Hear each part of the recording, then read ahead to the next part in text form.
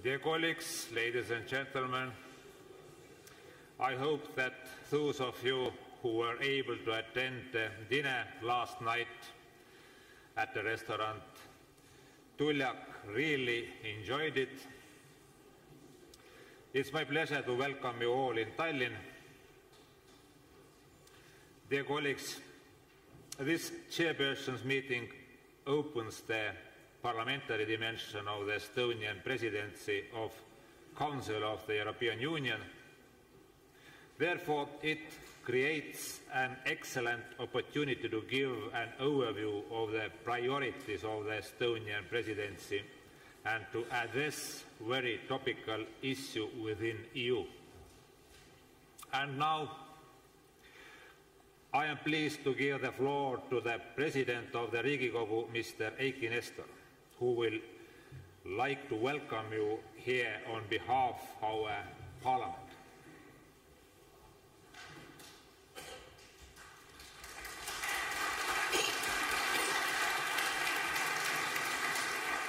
Ladies and gentlemen, dear colleagues, it's nice to see you in our holy room, the plenary room. A warm welcome to you all on behalf of the Parliament of Estonia.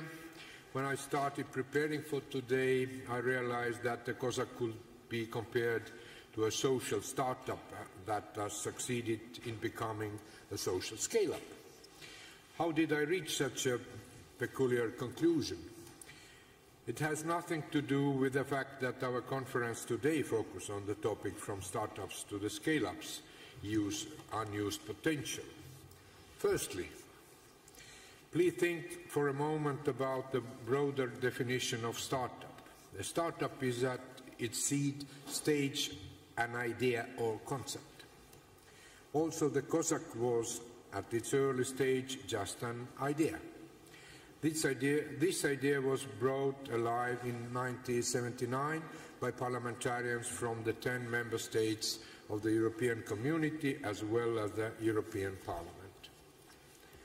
At that time, the European Affairs Committees from the national parliaments reaffirmed their desire to be closely involved in the decision-making process of the European Community. One way to achieve this was to organize an interparliamentary conference where parliaments meet on a regular basis and debate topics of common interest. And thus COSAC was born. Secondly, I would like to point out a mistake that startups usually make and that I believe the creators of COSAC avoided. Startups often fail to understand the importance of so-called nitty-gritty. As we all have noticed from time to time, small things can turn into large things. Usually those so-called small matters contain agreements on technical issues or clear burden sharing between the team members. The members of the COSAC have declared their intention to work in accordance with the rules of procedures. The most valuable part of this it is the article that allows the presidency parliament to host the COSAC conferences. The presidency gives, the, gives all the national parliaments the opportunity to set the agenda for parliamentary debates. And thirdly, let's think about the bigger picture, or in modern words, the ecosystem. The ecosystem for startups is always influenced by the external factors. Also, the COSAC had to adjust enlargements, enlargements and changes in the European political culture in mediatization. For example, during the first COSAC conference, there was only one agenda item and each member state had time to limit of 15 minutes. Today, we can welcome delegates from 28 member states as well uh, as five candidate countries. We are glad to see also delegations from Norway, Switzerland, Georgia and Iceland. On the one hand, each delegation is, is given less time to participate in the debate. On the other hand, the range of topics is much broader. Doesn't this mirror of challenges of our time? The problems have become more complex than ever and we are constantly racing against time. At the same time, the electorate and the media are expecting quick and simple, simple solutions. In conclusion, I would like to stress that although the globalized world forces to us to face many challenges and has become unpredictable, the COSAC has remained. It was and still is an irreplaceable platform that brings together the politicians who work with EU matters. So COSAC has become a social scale-up.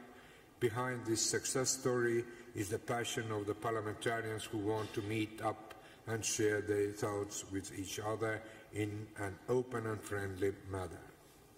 And dear colleagues, finally, don't forget that you are today in the plenary where one-third of the members of the parliament are voted via internet, not on the poll station. We're in a state where 96% of the taxpayers declare their incomes to the state via internet. It takes for them two minutes.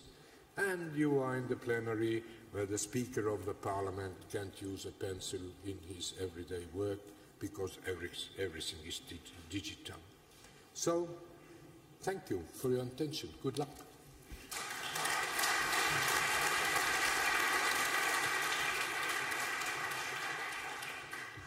Thank you, Mr. President. Dear colleagues, before we proceed, let me extend a kind welcome to those chairpersons who were recently elected into their current position and are attending the COSAC chairpersons meeting for their first time. Therefore, I welcome Ms. Soraya Rodriguez, Chair of the Joint Committee of the European Union in the Spanish Cortes and Ms. Sabine Thillaye, the President of the European Affairs Committee of the French National um, Assembly.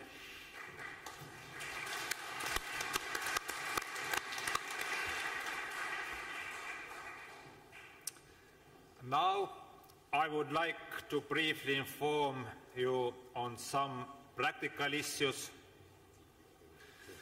Interpretation services are available in English, French, German, Italy, Polish and Estonian. Please follow the instructions on your table. There you will see also how to access the Wi-Fi for your information, this conference is being streamed live in the web page of our parliamentary dimension. You are most welcome to share your ideas on the topics of this meeting on Twitter. When requesting for the floor, please use the touchscreen in front of you please follow the instructions on your table. To register for the debate, please press the head button once on the conference unit. To withdraw your request for the floor from the list, press the head button again. I will, I will address you when it is your turn to take the floor, you are not required to press any button. Microphone will open and close automatically. Your conference unit will show the remaining time for your speech. All the relevant documents are available on the documents table just outside this hall. Please note that due to heritage protection requirements, food and drinks are not allowed in the meeting room. Water and coffee are served outside the plenary room during the whole conference. And finally, if you have any further questions our staff is more than happy to assist you. Dear colleagues, let us proceed the adoption of the agenda for the COSAC meeting. A draft program of our meeting has been already distributed to you. Let me briefly recap the agenda. On the agenda, we have two topics. First, the priorities of the Estonian presidency of the Council of the European Union. Second session is from startups to scale-ups, EU's unused potential.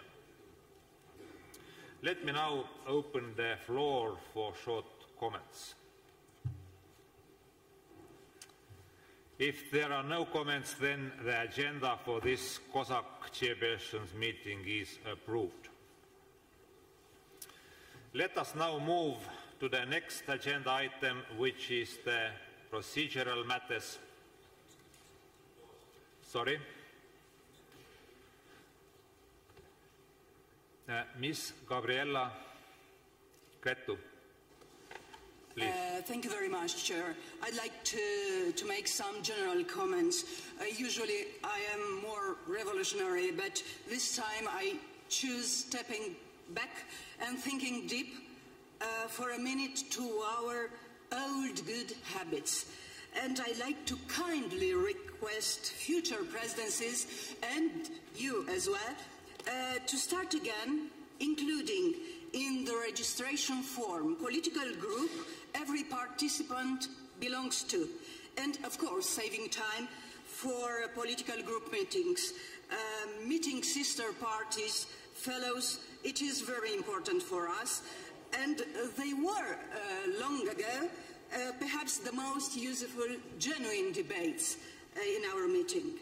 Uh, and of course, not knowing which party one of the speakers belonged to prevents us good understanding and creates misunderstandings. Uh, a far-right position has different meaning if uh, adopted by a small opposition party uh, or by the leader of a mainstream uh, government party in a country. Uh, secondly, it's the agenda. Uh, I remind you our last conference in Malta having 42 minutes uh, available and 41 members uh, willing to express their views and uh, practically succeeding in saying almost nothing. And it is very, very frustrating. Uh, I, I hope you, you would agree. And uh, because during one or two days we tried to debate everything.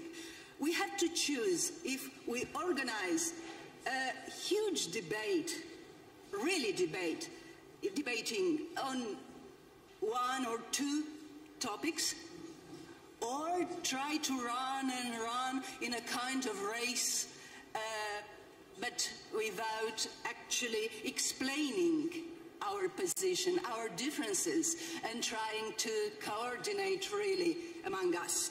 And thirdly, I like you very much to start again sending written position if our chambers adopted before on one of our topics uh, a position. We have to send this position and to be available for all participants because otherwise uh, everything is exceptionally bureaucratic.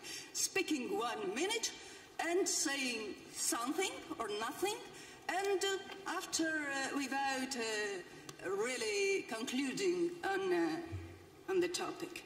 Uh, this, were, this was my proposal for today. Thank you. Thank you for your proposals. We shall consider these. Let us now move to the next agenda item, which is the procedural matters. Dear colleagues, I am glad to inform you on the results of the presidential troika of COSAC, letters received by the presidency and other procedural issues. First, draft agenda of the 58th COSAC plenary meeting. The plenary meeting of the COSAC will take place in Saku Suurhall, Tallinn on 26 to 28 November. We have included five topics on the agenda of the COSAC plenary meeting. The future of the EU, the role of national parliaments, digital single market, security and migration. On migration, we intend to focus on its external dimension. On digital single market, we will focus on digital services. On the role of national parliaments, we want to discuss ways to make EU affairs debate in national parliaments more open and inclusive. On the future of the EU, the President of the Republic of Estonia Kersti Kaljulaid has agreed to address the meeting as the keynote speaker, while the Commissioner for the Security Union, Julian King, will launch the discussion on security issues. Other keynote speakers of the COSAC plenary are the Vice President of the European Commission, Frans Timmermans, Commissioner for the Digital Agenda, Andrus Ansip, and Commissioner for Migration, Home Affairs and Citizenship, Dimitris Avramopoulos. Next, I would like to briefly outline the 28th biannual report of COSAC, which will base on the information obtained from the questionnaire, the report will be divided into three chapters.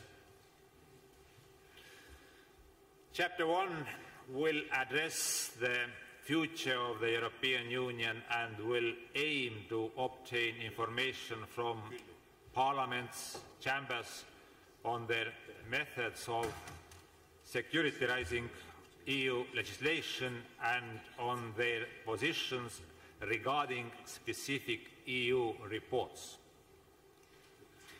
Chapter 2 seeks to analyze citizens' involvement in the decision-making process and discussions relating to EU policy, improving the interaction between civil society and the public sector goes to the very heart of democracy and is therefore vital to the work of national parliaments.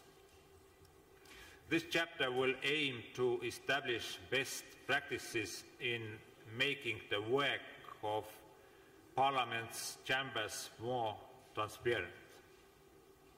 Finally, Chapter 3 will focus on the digital single market with a special emphasis on the digitalization of parliamentary procedures.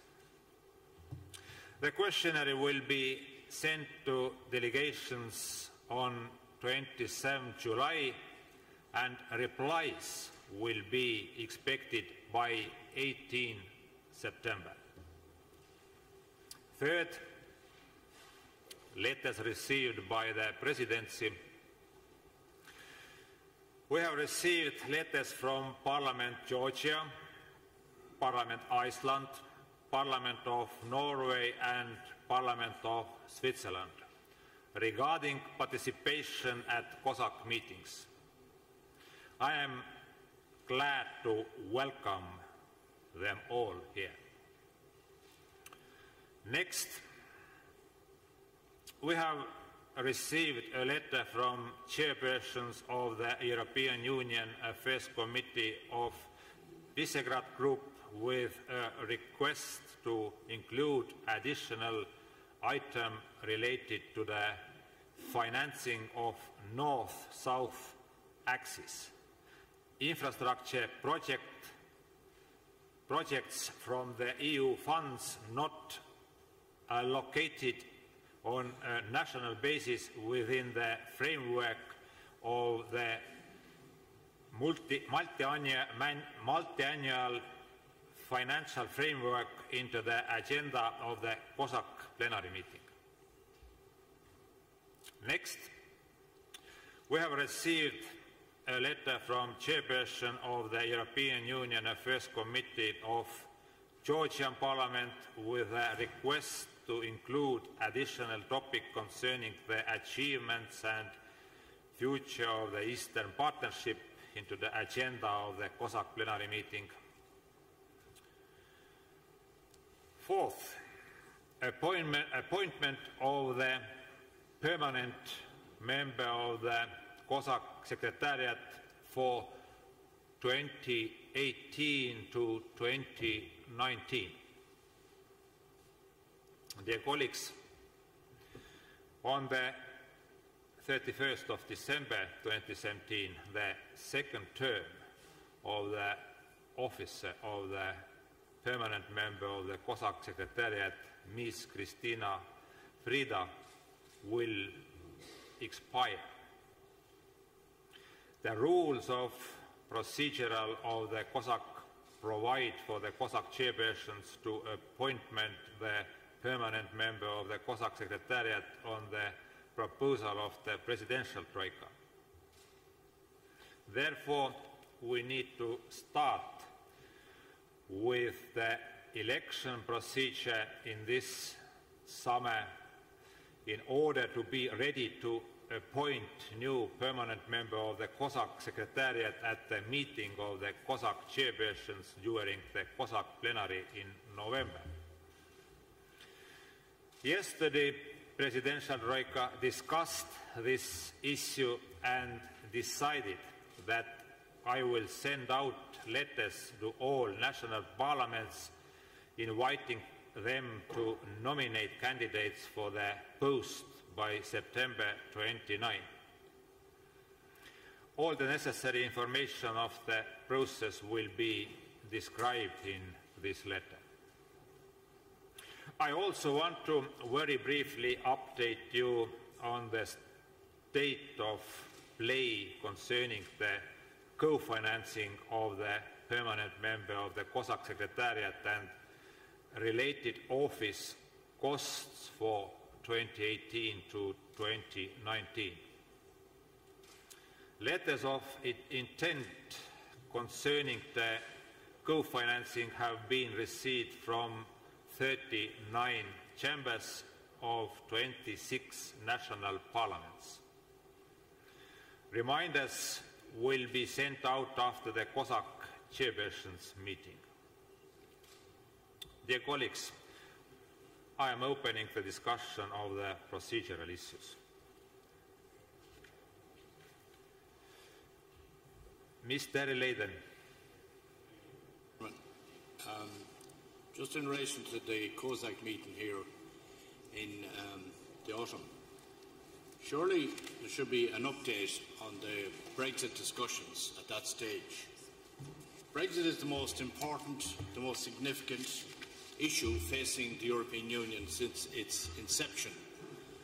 And it is very important that members of COSAC, members of the uh, different countries, would have an opportunity of getting an update from Mr Barnier uh, here in Estonia uh, later in the year, because we in Ireland particularly are affected by the Brexit situation, which are our trade with the United Kingdom, our relationship with the United Kingdom, our location with the United Kingdom. So I feel that you should consider to include Brexit in uh, one item for a report from the negotiators at that stage. Thank you. Thank you for your proposal. We shall process and address this. Ms. Isabel Kloc.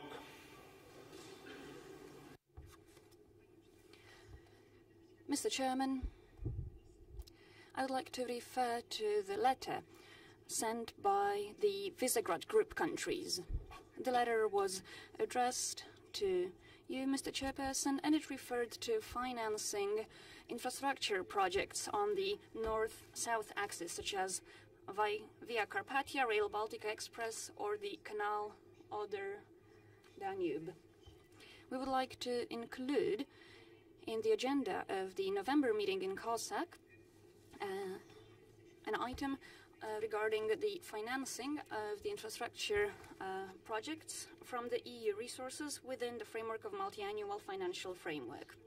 Until now, the, uh, Europe has been investing mostly in west-east axis. That's why I believe that we should also invest in the north-south axis. We have raised this issue at a meeting on the 6th of July it was the uh, Summit of Three Seas initiative. The Central and Eastern Europe is a region that has been developing very dynamically and that has a lot of potential. Still, we are lagging behind uh, Western Europe.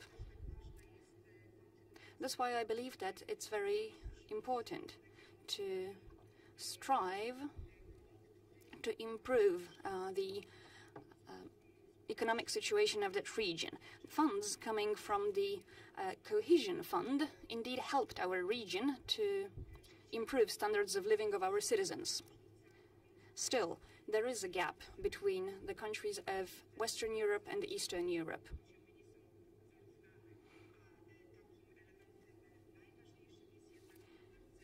I believe that the most uh, crucial issue is for development of our region is the transport network. That's why we would like to, we would welcome investments in roads in our region. These investments can be financed from the cohesion policy, but also from the Connecting Europe facility. However, there are certain weaknesses in that program, and that's why we would like to address it during the COSAC meeting. I believe that the European Commission should abandon the rule that allows it to devote only 10% of funds from the national envelope to building roads. What also makes it difficult to finance building of roads from that instrument is the amount of uh, uh, financing, namely uh, only 10% of the entire value of the project can be granted by the European Commission. And these are serious obstacles to the development of the transport network, both in terms of roads, railways and inland waterways the European Commission is planning to review the comprehensive network TEN-T for the years 2023-2025. I welcome it, but I actually I believe that this review should be carried out earlier so that it can take into account our suggestions. As countries who have vested interest in uh, that transport network, uh, we hope that you will take our opinion into account and you will put uh, on the agenda of COSAC this particular issue in November. Thank you. Thank you. I agree this is very important issue. I assure you as a presidency we have to and we will deal with this issue as well. Mr. Yaroslav Obrensky. Uh, thank you very much. Uh, I would like uh, support uh, Irish and Romanian uh, friends. In my opinion, every meeting of COSAC we discuss about the strengthening of the role of national parliaments. And um, it means, in my opinion, we can cancel the, the point of agenda bringing Europe closer to its citizen because uh, we can in practice, we can uh, collect and send uh, this uh, best practice in the written uh, form. And in this place, we can focus on and really discussion about, for example, the external dimension of migration or about the problem of uh, Brexit. Because one hour means that we only pretend that we discuss. Thank you very much. Thank you for your remark. We shall discuss it with uh, Troika.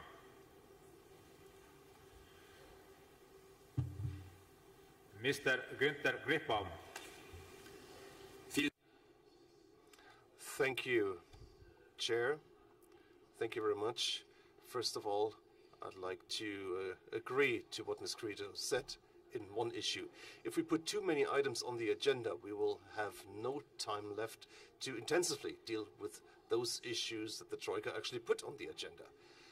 And of course, financial debates might be important. The multi-annual financial framework has been discussed in other places lots of times, and we will have it on other agendas in the future as well. So I'd really like to caution that we focus on those issues that are important, like digital agenda, that are put on the agenda by the Estonian presidency, that we take the time to really discuss these issues in depth, because if we now expand the agenda, uh, this will help no one because then we will have uh, 41 minutes of talking time with 42 people who would like to speak and this is something I do not want to have, so a clear no, and I would not like to see the issue of the multi-annual financial framework on the issue. However, Brexit is a, a thing in development, and this has to be accompanied by the parliamentary dimension, and this also has to be accompanied by the COSAC, so I clearly support the Irish intervention. Thank you for your proposal and uh, your remarks. We uh, trying to, to uh, uh, take into account these remarks. Colleagues, thank you. Now let's move on to the next session. I would like to kindly invite Mr. Jüri Ratas, Prime Minister of the Republic of Estonia, to introduce us on the priorities on the Estonian presidency of the Council of the European Union. Colleagues, please use the touchscreen to sign up to the, for the debate. Prime Minister Ratas, the floor is yours.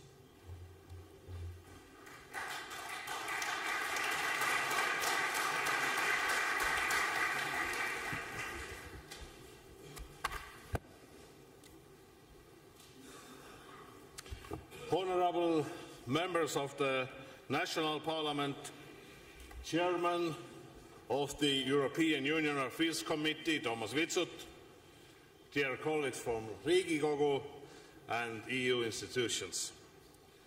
First of all, let me thank the European Parliament and first Vice President, Madam McGuinness, for their very warm welcome last week in Strasbourg.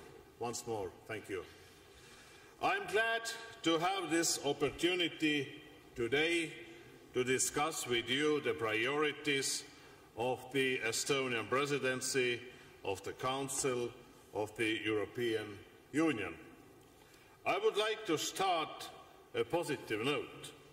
During recent months, I have visited my colleagues in European capitals to listen and to learn about their expectations for the next six months. Everywhere I went, there was a strong belief that things are moving in a better direction. These open and forward-looking encounters have reassured me that Europe is stronger than it sometimes appears. There is willingness and desire to stick and to work together. My colleagues in the European institutions believe the same. We have to keep this spirit during our presidency and beyond. The motto of our presidency is unity through balance. Our role is to find a balance between the different views, traditions and interests in Europe today to achieve the best possible outcome for our, for European citizens. This is a role we take on with a sense of responsibility but also with enthusiasm and hope.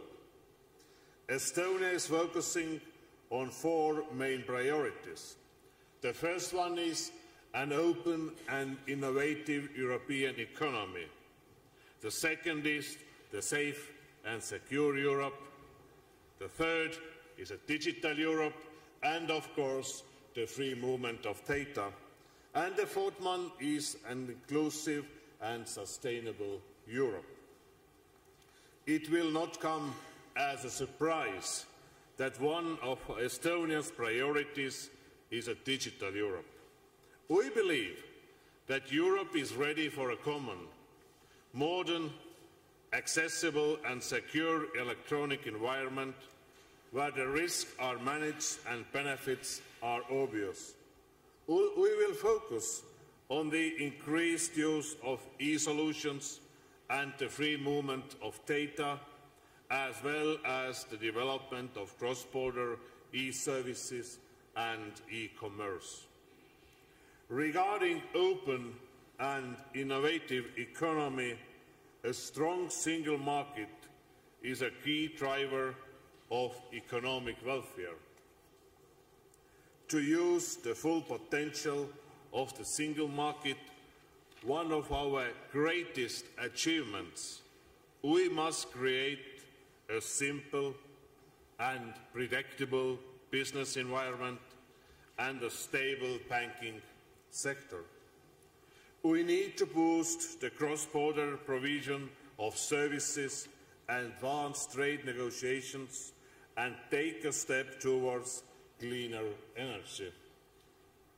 Without doubt, safe and secure Europe is what the citizens expect most from the EU.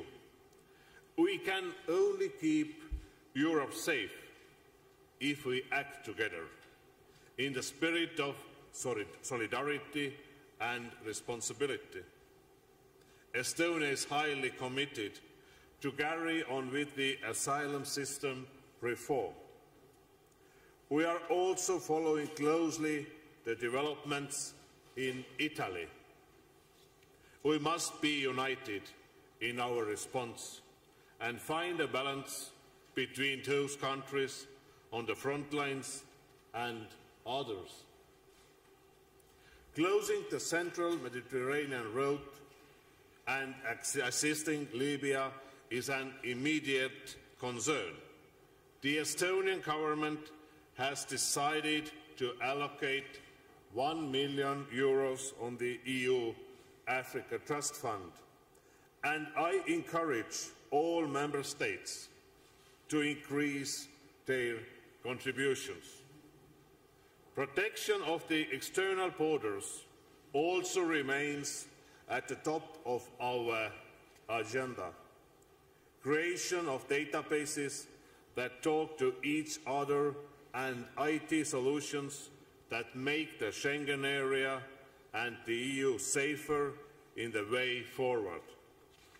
In the fight against terrorism and organized crime, we must make the financing of terrorism more difficult and enhance cross-border police and security services cooperation. It is now a common understanding that Europe needs to take more responsibility for its own defence and security. While NATO will remain a cornerstone of transatlantic security, we welcome eff uh, efforts to enhance defence cooperation and to improve Europe's defence capabilities. An ambitious Eastern Partnership focusing on a prosperous and stable neighbourhood is also the interest of the entire EU. Last, but by no means least, an inclusive and sustainable Europe is an essential goal for maintaining the quality of life for all European citizens. Over the next six months, we will focus on ways in which the EU can offer equal opportunities for people who wish to live and work in the EU on developing technologies to bring people with disabilities closer to society and to balance work and family life. We believe that the balance between economic growth and environmental protection is very important. The circular economy offers us an opportunity to reinvent the wheel and to make our economy more sustainable and competitive. Today's actions and tomorrow's future are closely interlinked with climate change. Europe must fulfill our commitment to the Paris Agreement and push ahead with the work on the main standards of the EU energy and climate policy. Of course, the year 2017 will also be about Brexit negotiations. Estonia is at the service of the Member States and the European Institution Commission, while working closely with the European Parliament, and yet Brexit should not limit our horizons. The Union must move forward in numerous other areas to continue providing new benefits for our citizens and delivering results. In Bratislava, in Malta, in Rome, we had a frank and honest discussions about where we stand and what we need to do to address the most pressing concerns of our citizens. There is a lot that we can achieve together in these six months. Of course, we cannot fix everything the next 184 days. But we are determined to do our best in a very Estonian way, promising less but doing our best to deliver more. I very much look forward to working with all the member states. I wish you very fruitful COSAC today. Thank you for your attention.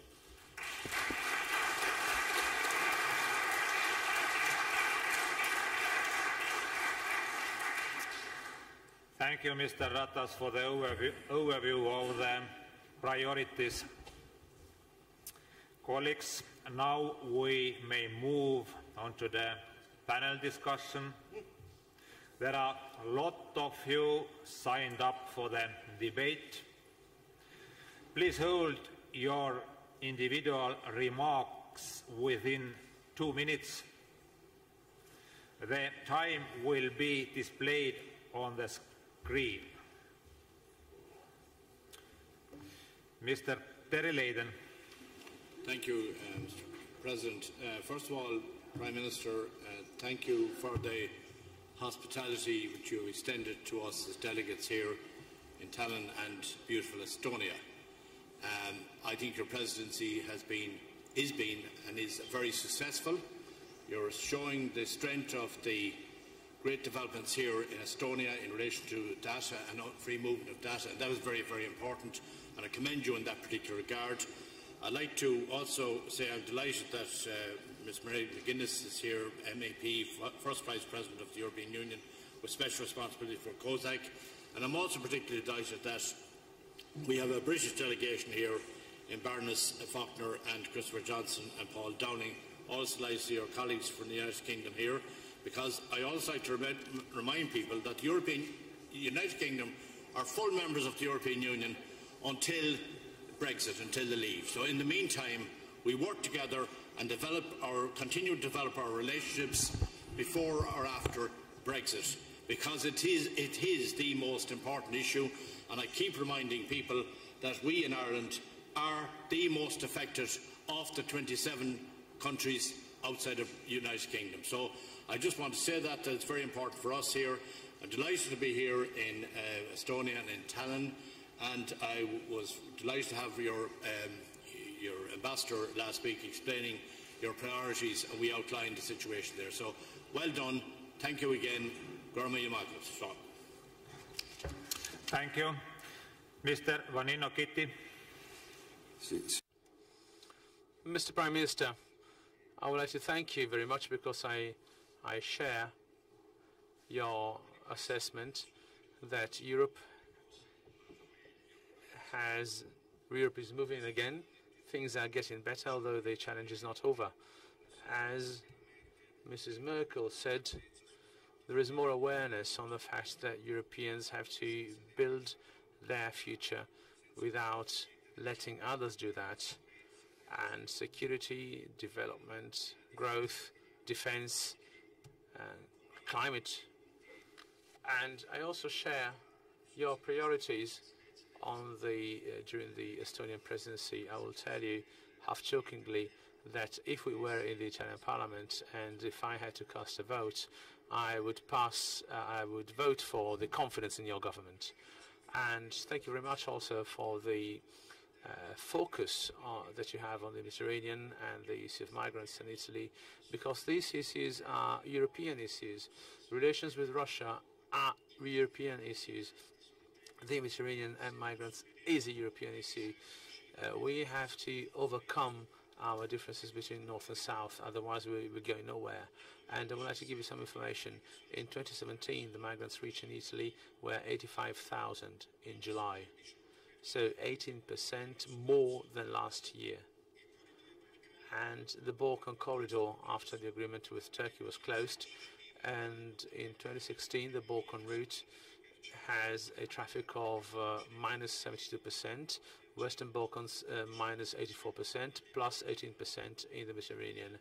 In 2015, uh, the uh, re resettlement of refugees was decided, involving 160,000 people from Italy and Greece, and of these, only 20,000 were resettled, of which 6,000 from Italy. Now, to conclude, we need to have a common effort and common resources.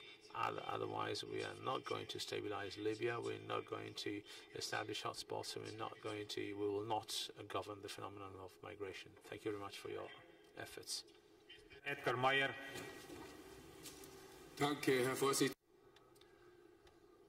Thank you, Chair, for the hospitality. Uh, I know I have to keep my praise short because I won't have any time left to speak. But I'd like to uh, thank the Prime Minister for outlining the priorities for the presidency. It's the first time for Estonia to hold the presidency, and congratulations of that. We wish you luck. It is a very responsible uh, task, but I know that you take it on with a lot of commitment and a lot of competence. Austria will hold the presidency in one year from now. Together, we're uh, in the Troika with Bulgaria and Estonia, and we're looking forward to this cooperation. So the Estonian program is also a Bulgarian and an Austrian program. Well, you can only really edge out uh, the issues in the brief time we have available. Economy is important, the labor market, jobs. At the same time, economy must be sustainable. We must deal with social issues. We must deal with environmental issues. It is regrettable that the United States uh, renounced the Paris, uh, Paris Climate Agreement and uh, still hope that they will rethink their position. Terrorism is a decisive issue for all of us. And uh, without limiting the basic, the fundamental freedoms, uh, migration was mentioned by our Italian friends. We definitely need to come up with support. We definitely need to have a joint approach by the EU member states and also uh, everything needs to be distributed throughout Europe in a just and fair way. A lot has been said on Brexit. A lot of work is ahead of us, there is no doubt. And in this joint presidency, we will try to implement it uh, during this presidency, of the Bulgarian and the Austrian presidency.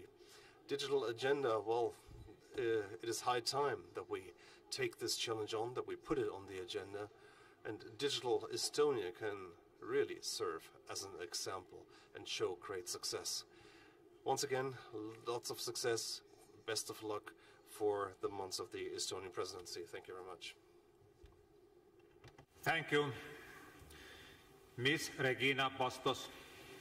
Mr. President, Mr. Prime Minister, a first word to congratulate Estonia for its first presidency of the Council of the EU and to express my wishes of successful presidency. The priorities of the Estonian presidency are shared by Portugal. The focus on the digital economy doesn't put aside the development of an open, secure, inclusive and sustainable Europe. It's necessary to develop an energy market with special emphasis in the electricity market, which is a crucial factor for the competitiveness of the economies of some member states, mainly Portugal. It's also fundamental to look at the banking sector it's vital to complete economic and monetary union through the concretization of the third pillar, the European Insurance Deposit Scheme, and make sure that a true and complete banking union is on place as soon as possible.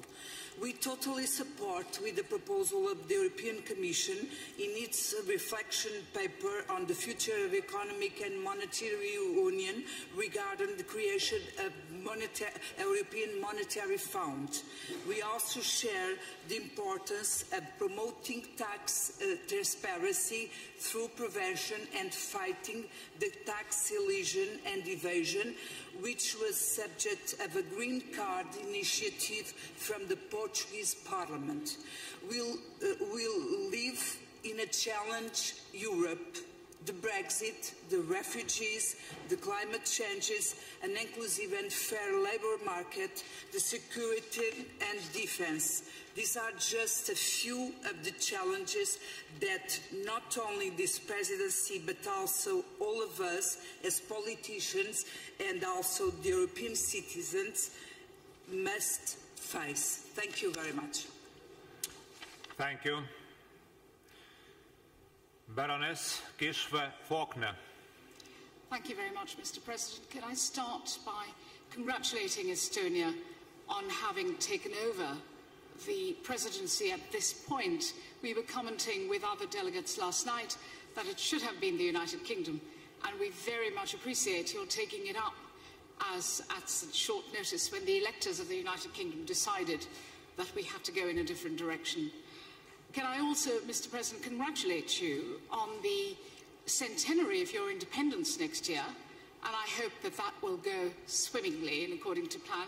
We will share, the people of the United Kingdom will share Estonia's delight in that occasion. I should explain that I'm here replacing Lord Boswell, who is, as you know, very familiar to all of the delegations here. He's currently unwell, and I'm sure all present will join me in wishing him a very speedy recovery. I will try to replace him to the best of my abilities. Much has been said about Brexit, Mr. Uh, Mr. President, and I uh, just wanted to reassure Mr. Terry Leyden, our, our Irish counterpart here, that the United Kingdom Parliament and the House of Lords in particular has published a large number of reports scrutinising our government, advocating a course of action and informing the public regarding the position of the United Kingdom to Brexit, we produced a detailed report on Anglo-Irish relations in December, and we'd be delighted to send him a copy, and indeed anyone else who would like to see that. Coming to the theme of the conference, Mr. President, this is more than timely. It is increasingly important that Europe's competitiveness be addressed, and I'm delighted to see that Estonia has taken up the challenge and will run with it. I look forward to contributing later in that discussion. Thank you very much. Thank you for your kind words. Ms. Jóna Sólveig Elínardóttir. Thank you, Mr. Chair. Uh, first, I would like to thank the Estonian presidency for the invitation to attend this meeting and to congratulate you on having uh, taken over the presidency. We wish you all the best. It is of great value for Iceland to be able to follow developments and priorities of our partners in the European Union in this way. And I must say that the tone struck in the priorities of the Estonian presidency, the tone European unity through balance, where nobody feels rejected, a steadfast but at the same time smart and flexible union which serves its peoples and works at improving and elevating the standard of living for European citizens is a tone that we in Iceland relate to very strongly and that we wish to contribute to through our participation in the European integration process. And we particularly welcome the strong focus of the presidency uh, and which it places on openness, innovation and simplicity in the regulatory environment that we are bound to develop together for our businesses. If any international organization should be able to be innovative and find innovative solutions to difficult challenges, it would be and it needs to be the European Union. Thank you. Thank you. Mr. Philippe Mahoux. Merci, Monsieur le Président. À mon tour, euh, en français, je voudrais vous remercier évidemment pour la qualité de votre accueil et je vais m'attacher à parler du. Thank you, Chairman. Thank you uh, for the warm welcome we have received here in Estonia. When it comes uh, to the digital market in Europe, then uh, Estonia truly is an example for all of us. Uh, but one of the questions uh, we should tackle is accessibility. It is important uh, to educate people, to make people more aware of uh, this area. And um, when we talk about security, you mentioned NATO in your speech, but we should also speak about the civilian dimension and the third topic that is also very important is um, the protection of uh, privacy. In the Belgian Senate, um, we have dealt a lot with um, health issues and the protection of uh, privacy is of utmost importance in this context. As uh, you uh, also mentioned uh, digital issues uh, related to the work of uh, national parliaments, uh, um, then here um, it also has to do with the immunity of um, members of the parliaments. Uh, in, uh, even in Europe, we have countries who do not grant the freedom of speech um, to politicians and um, the immunity of uh, parliamentarians is, uh, is very important. Now, uh, going forth from what the previous speakers mentioned and uh, everything that has to do with European projects, uh, then the posting of workers directive is uh, is very important, especially the dialogue that precedes uh, the adoption of the directive, I think this is the only way that will lead us to success because our citizens find that the directive in its current form uh, does uh, not uh, help the European idea to be accomplished. Thank you. Mr. Uh, Richard Hörcsik. Thank you, therefore, Mr. Chairman, dear Mr. Prime Minister, my dear colleagues. I welcome the priorities of the Estonian presidency and express my support for its implementation. I also congratulate Estonia for creating a comprehensive presidential program in a really very short time. This program is ambitious and addresses the most actual challenges ahead of us. Dear Mr. Chairman, I would like to mention just one item, uh, very briefly of course, on the Brexit. As we saw, the withdrawal negotiations have already started, and hopefully during the next six months, some key issues will be agreed upon. First dossier to be addressed is the rights of citizens, and in, in this respect, we need to achieve a fair deal for both parties at the early stage of the negotiations. I would also mention this very important issue that it is clear that the withdrawal of the United Kingdom creates a gap of around 10 billion euro in the EU budget per year, 10 million euro. The EU member states need to decide whether to adjust uh, to this shortfall by increasing national contributions, cutting spending, or a combination of the two. In addition, Mr. Chairman, Brexit will have a direct effect on the next multi-annual financial framework to be started in, as we know, 2021. Uh, the proposal regarding the next MFF most probably will be issued by the European Commission next year. Finally, Mr. Chairman, a remark on the European reform process. I am really convinced that the current European Union does not need any major integration steps, but a consolidation of the achievements, including the free movement of workers, the strengthened role of the national parliament. Thank you very much for your attention. Thank you. Miss, Miss Fabienne Keller. Merci beaucoup, euh, Monsieur le Président. Euh, merci, Monsieur le Premier ministre. Monsieur le Président, pour votre accueil. Thank you, Chairman. Thank you, Prime Minister.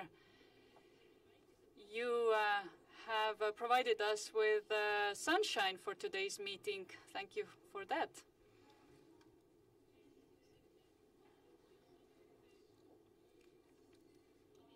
On my behalf, I would uh, like to congratulate you on uh, the priorities you have chosen for your presidency. And first of all, I would like to speak about uh, Brexit. As was said by uh, Mr. Leyden previously, uh, the risks are high, especially for Ireland. And uh, we should try to support Ireland as much as possible. Now, the unity between the remaining 27 member states is also very important. I would also like to mention the migration crisis. It has already been said that the situation in uh, Italy is uh, increasingly serious, and um, the migration issue is one of your priorities during your presidency as well. And I would like to um, um, advise you to move even further uh, to uh, use more of the potential that Frontex has and to put extra financing into Frontex. Now, when we talk about the financial issues, our uh, citizens are shocked seeing uh, how uh, in uh, big corporations um, the numbers of staff is being cut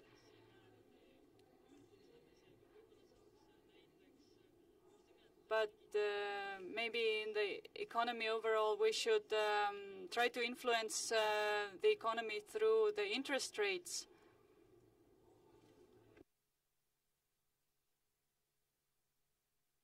And further, we should also discuss uh, climate policy, digital policy. Um, this is all very important, but colleagues have al already uh, mentioned it, and I would just like to to wish you all the best for your presidency. Thank you. Thank you. Mr. Gunther Krichbaum.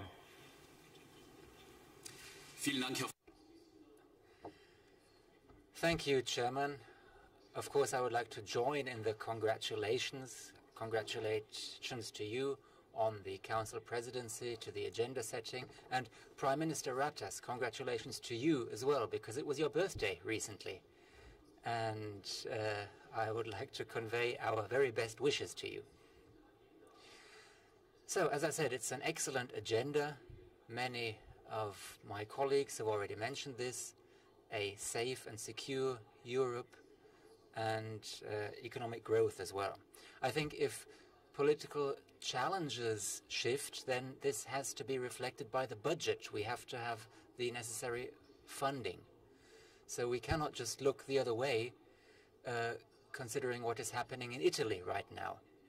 In other words, the weighting within the budget uh, may have to shift, also including the multi-annual financial framework, for instance, by setting up refugee infrastructures. Because there are two things we can do, basically.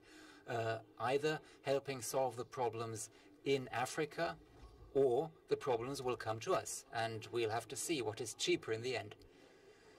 One remark concerning the digital agenda. I would be interested in hearing how things work in Estonia. Estonia is the spearhead in Europe when it comes to digitize, digitalization. But my question would be, what happens to the data? Who owns the data? do the data belong to those who provide the data, those who use the data, those who collect the data? For instance, if the person who provides the data uh, dies at some point? What happens? Uh, are the data inherited? So it would be very interesting to hear how Estonia handles these matters, because those are certainly future topics for us in the European Union. And finally, let me thank you for your commitment during the presidency. Thank you. Mr. Bojan Kekic. Thank you for the floor. First of all, I want to thank colleagues from Estonia for the warm welcome and good organization of these COSAC meetings. When I read the priorities of the Estonian presidency of the Council of the European Union, I was satisfied with the choices and the emphasis uh, the innovative and digital supported Europe, sustainable Europe as a caretaker of, for our environment uh, the Europe of equal opportunities for every citizen without discrimination is the way for our future. But as my uh, presenters say, there are some important topics that are not addressed as, for example, Brexit. Uh, but none of these goals can be enforced in the form that we want if we do not make Europe safer from international terrorism if we are not able to protect our borders and hence of our civilizations. We also should not leave some the European Union countries facing this, this challenge alone. In the future months, the migrant flow will probably increase because of a good weather condition, so we must take concrete action also in third countries to tackle this issue. Uh, the migrant crisis must be tackled in the countries where it's being created each European country should assume responsibility for a specific country in North Africa because I think uh, that this forum of country-specific assistance would be the best solution to the migrant crisis, while at the same time establishing a stronger security system at the sea and the land. Thank you for your attention. Thank you. Ms. Mairead McGuinness. Thank you, Chair, and my thanks to the Prime Minister for your um, strong commitment in the Presidency and also your remarks here. We in the European Parliament had the privilege of a debate with you last week and I think it went really well um, and I hope you enjoyed uh, the engagement with members, many diverse uh, comments made in the debate. I have to say I feel somewhat of the old technology in the room because I'm using a pen and I know that your unique selling point, if you like, is your focus on the digital uh, agenda. And really, I think that's something that we should use every opportunity to learn from Estonia. So well done on that and also on the sharing of knowledge. The issue of digital security, though, is something that citizens worry about, about data sharing. So we look forward to hearing more in relation to that in the coming months. Um, and on the question of migration, I think tackling the root causes is something that Europe really wants to take on board because immediate solutions are one thing, but we have to address the reasons why people leave their home countries and come to Europe. So I look forward to that debate. In relation to Brexit, the European Parliament is obviously deeply engaged in the uh, discussions and the negotiations, and I note the comments here of colleagues from national parliaments. In a way, we should use Brexit as an opportunity to learn about how Europe works, and therefore I welcome your opening statement that Europe is moving in a better direction and that while Brexit is a serious issue, it is not the only issue that Europe is engaged with. Um, I think my last remark will be this. You summarised that perhaps you will promise less, to do your best, but to deliver more. And in a way, I think that that's something that Europe, perhaps, should look to doing. That if we can deliver more, then I think we will have the support of citizens. So you've given us uh, food for thought. Thank you. Thank you. Ms. Tamar Khulordava. Thank you, Mr. Chair. Um, Mr. Uh, Prime Minister, dear colleagues, uh, first of all, let me congratulate Estonia on the uh, presidency, on organizing very well this forum, and uh, also thanking Estonia for this wonderful hospitality. Uh, we, as Georgian delegation, are happy to be present at the COSAC meeting, and we are thankful to all of you, to national parliaments, for extending this opportunity to us once again. The year of 2017 is a very special one. It's a special one for Estonia. As uh, said, it is the, uh, in the responsible position of uh, presidency of the Council, but also for Georgia it's a special year because this year we celebrate re-establishment of Georgia's uh, diplomatic ties with many of your countries, in fact. Uh, in addition to that, it is also a special one because we're looking forward to the Eastern Partnership Summit, which is to take place during the Estonian presidency. And I'm very happy that the uh, ambitious Eastern Partnership was something that was mentioned along with the priorities that uh, were outlined by the Prime Minister. Uh, we, uh, of course, highly value the support that Georgia has had for many years from all of you, uh, from all these uh, countries, from the European Union in particular, um, for our European choice and European aspirations. The Eastern Partnership Summit will be yet another opportunity for um, our country to, uh, and for actually for the entire world, to get a very important signal and a message that Europe remains open to the European countries in line with the Treaty of the European Union, which states that as long as criteria are met, the countries should have a perspective. And this is what we would very much like to see in the declaration, although with all due respect to the problems, challenges that the EU is currently facing. But uh, EU is in good hands, I, am sure, and uh, these challenges will be overcome. And it is very important to keep this ambition going. And it is very important to keep this ambition going also for the countries such as Georgia, where the uh, path to the European Union actually is what, uh, what accelerates democratic reforms and what makes Georgia truly European institutional democracy. So thank you very much once again. All the, um, you know, I wish you success in the next six months and beyond. Thank you. Thank you. Mr. Václav Hampl. Thank you, Chair, for, for the floor. I also want to join those who thank uh, you for the hospitality, hospitality here. Uh, I personally think that the priorities of the Estonian presidency are very well chosen. Uh, we have yet to discuss it in, in, the Czech Senate next, next week, but I'm sure uh, there will be clear support for, for the priorities. I have I have one particular question.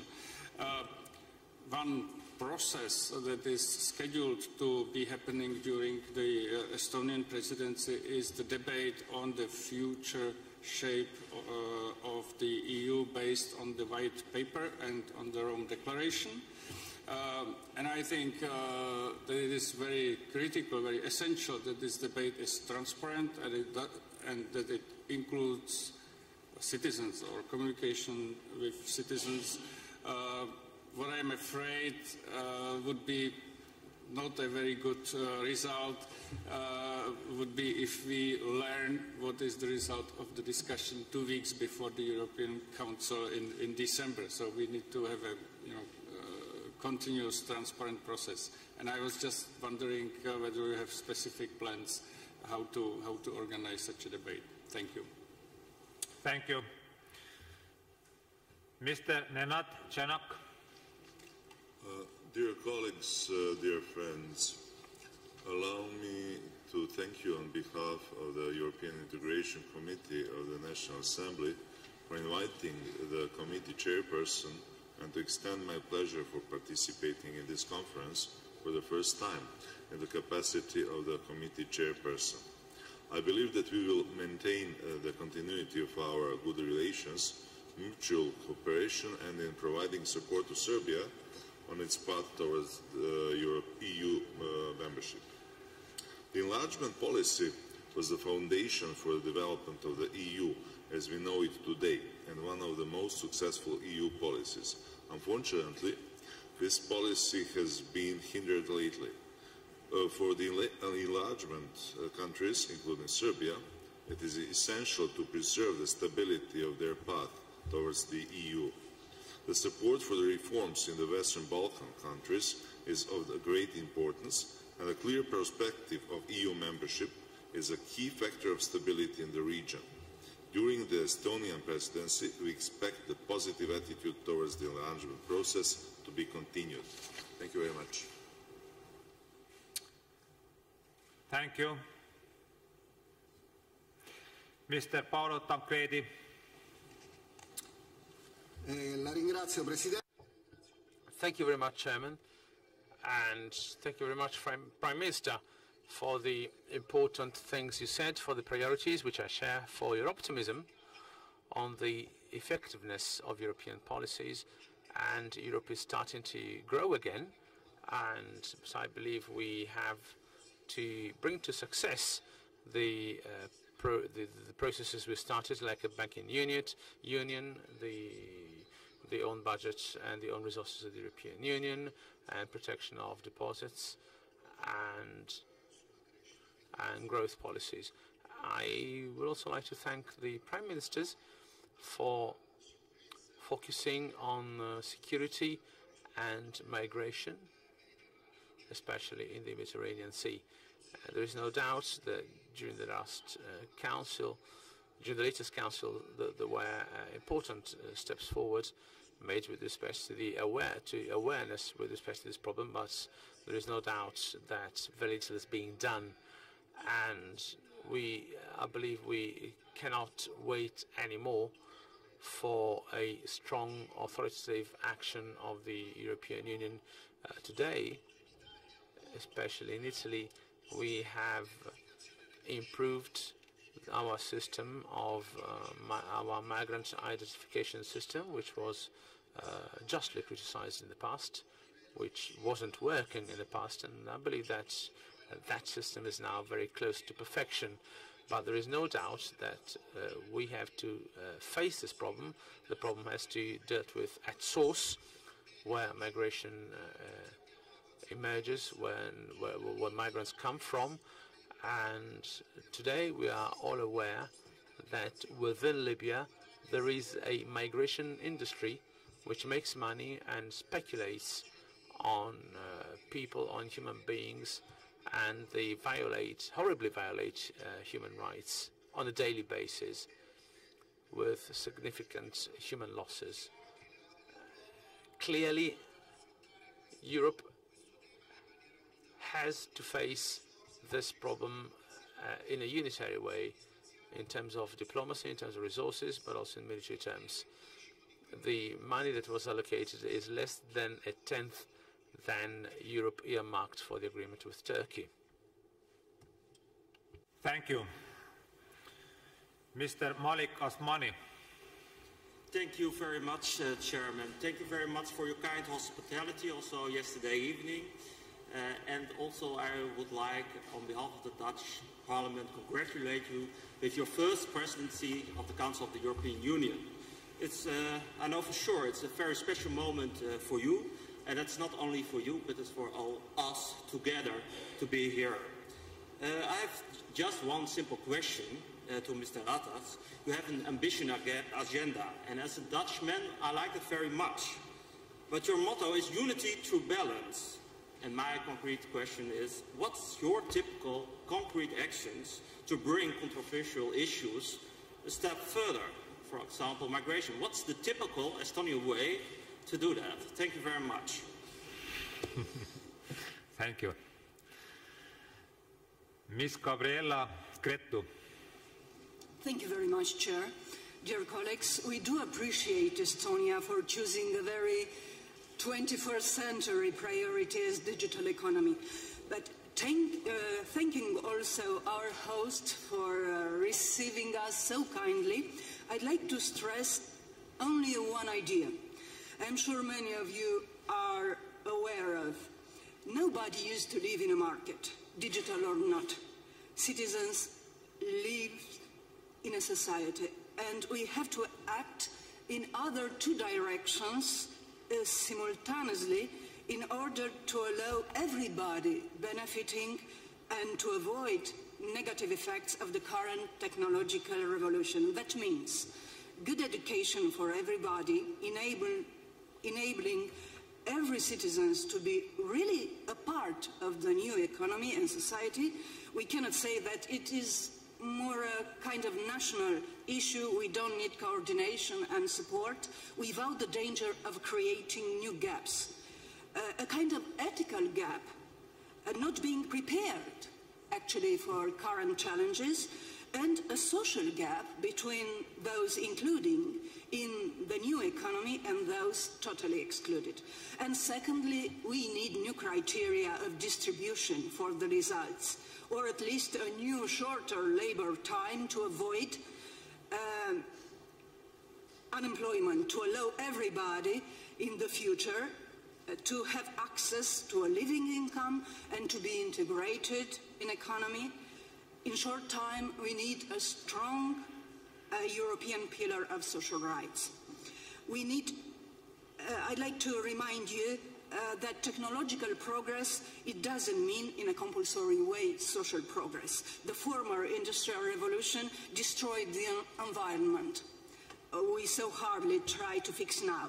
We don't want the current one to destroy society, creating a kind of dystopia, a kind of high-tech uh, feudalism. And we have to be prepared for this challenge. Thank you. Thank you. Ms. Shpresa Hadri. Thank you. Uh, distinguished Prime Minister, uh, Mr. Ratas, distinguished colleague distinguished colleagues, uh, ladies and gentlemen. At the outset, allow me to wish you a successful presidency of the European Union and success in um, um, and success in realization of goals and priorities laid down for the next six months. I will repeat the words of the President of the European Commission, Mr. Juncker, that the presidency is in good hands and that history has shown that presidencies of smaller European Union member states are always successful. I come from a small country too. I come from Macedonia, which has been waiting on the doorsteps of the European Union for over uh, 20 years. Estonia knows all too well what it means to be given a chance to become a member of the European Union. I would like to briefly inform you that warmer winds have now begun to blow through Macedonia and have led to a positive step forward to the country's EU integration processes after the two-year uh, political crisis, the resolution of which began with the early parliamentary elections last December. Last week, the government of the Republic of Macedonia adopted the action plan for the implementation of necessary EU reforms, or the so-called Plan 369. It is an interesting title which refers to the projected tasks for the next three, six, and nine months. Here, as I must emphasize that the first three months are crucial since Macedonia needs to demonstrate the initial signs of readiness to become a member of the Union. It is to deliver arguments prior to the local elections scheduled this fall so that the European Commission can remove the conditionality of the recommendation to open accession negotiations. The rule of law, systemic reforms, equality among citizens in line with the Ohrid Agreement, Framework Agreement, good neighborly relations, urgent Euro-Atlantic integration, as well as social welfare will be the pillars of our work. Finally, allow me to be optimistic that the political parties, uh, both the ruling party and the opposition, will put the state first and will demonstrate their commitment to the European processes and also will put the country to start the EU membership negotiations. Thank you. Thank you. Mr. Christian Tybring-Gjedde. Thank you, uh, Mr. Chair. First of all, let me thank the Estonian Parliament for the warm welcome and hospitality at, at this meeting. I would like to welcome the priorities of the Estonian presidency. I think many of these priorities are essential to promote a better environment for entrepreneurship and subsequently ensuring that new enterprises can grow. In this context, the significance of the single market cannot be overemphasized. By ensuring common rules and standards and fair competition, the single market is a cornerstone of a business-friendly policy in Europe. The best way to promote innovation is through competitive markets. Further, uh, further the initiatives to strengthen the single market as a tool to promote growth and employment in Europe are welcome. The digital agenda and a more integrated energy market are important to this end. At the same time, the social dimension must be secured through fair and safe working conditions by avoiding social uh, dumping. At the same time, export of public welfare benefit, creating unfair competition, also needs to be addressed, Mr. Chair. It is the EEA agreement that assures Norway participation in the single market. When the UK leaves the EU, the country will also leave the EEA.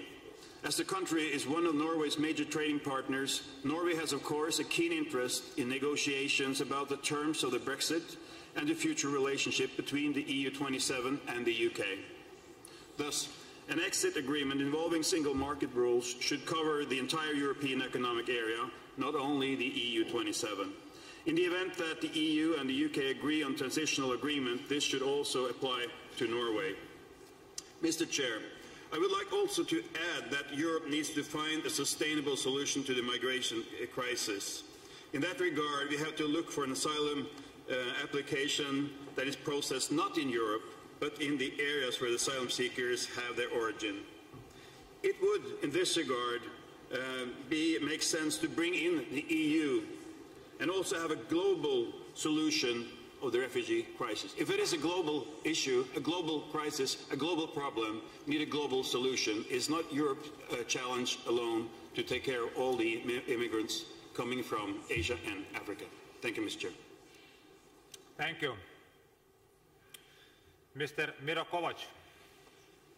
Thank you, Chair, for the excellent organization of this meeting and for yesterday's evening. I would also like to congratulate the Prime Minister of Estonia for the development of, of your country, which is really fascinating how the country has changed in the last 25 years. Now, today you have a strong competitive economy. Um, the priorities of your presidency show that the situation in the European Union has stabilized. We had major challenges. We had the debt crisis, the euro crisis, the, um, the, the, the, migration crisis, and Brexit. And now we can feel that uh, things have changed, uh, that we are moving in the right direction. We have become stronger, and we noticed last weekend in Hamburg at the G20 meeting that the European Union counts. It matters. It is a member of G20. The President of the European Council, Mr. Tusk, was there. Mr. Juncker was there. Four more countries of the European Union are members of G20, and the, the European Union is important. Is important, and that's why I'm saying it is important that we focus on becoming stronger, making our economies stronger, and being competitive. Um, we have to focus on our neighborhood, on the east, on the south. I mean Africa, I mean the Middle East, and I mean Russia. And we have to show that we are able to develop efficient strategies how to make uh, these regions safer and to how to play the dominant role when it comes to these regions. To, when I speak about the East, and, and, and the South. And my last uh, remark concerns the Western Balkans. We had uh, the colleague from Macedonia and from Serbia. We should focus on that region. That region is a part of Europe, and our goal has to be to have these countries one day in the European Union. Thank you. Thank you. Mr. Martin Klus. Dear Mr. President, uh, dear Mr. Prime Minister, dear colleagues, uh, first of all, thank you very much uh, once again for your hospitality and uh, including uh, ordering perfect weather for us. Uh, Slovak delegation appreciate proposed priorities and especially you mentioned Bratislava process. We believe it is inevitable honestly speak about where we are and where we are going if it comes to the future of the European Union, uh, especially now when uh, such an important country like United Kingdom is leaving us. We are prepared to be active part of such a discussion and help to stop activities of extreme groups all around Europe to destroy uh, our integrity and common values. Uh, finally, let me wish you a successful presidency uh, to Estonia and thank you very much for your attention. Thank you. Ms. Syla Topsu. Thank you, Mr. Chairman, Prime Minister, and dear colleagues. First of all, we would like to say best for luck for your presidency and thank you for your hospitality. Mr. Prime Minister, as you mentioned in your speech, currently is the, is the EU faces a range of challenges both at the global and, the, and at the EU level. Among the most prominent are the social effects of the economic crisis, the rise in extremist movement, illegal migration, the threat of the terrorism and Brexit. The EU is expected to show that it is capable of addressing these challenges.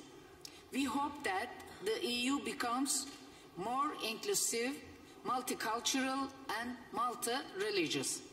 We also hope that this critical per period will produce the necessary EU reform and ultimately transform the bloc into a more effective entity in the world politics which is in the turn would be beneficially for Turkey too. As a candidate country facing the same challenges and sharing the same future with the EU, Turkey is ready to contribute to the discussion in the regard. We have particularly seen in this case of migration crisis how positive results are obtained when we cooperate.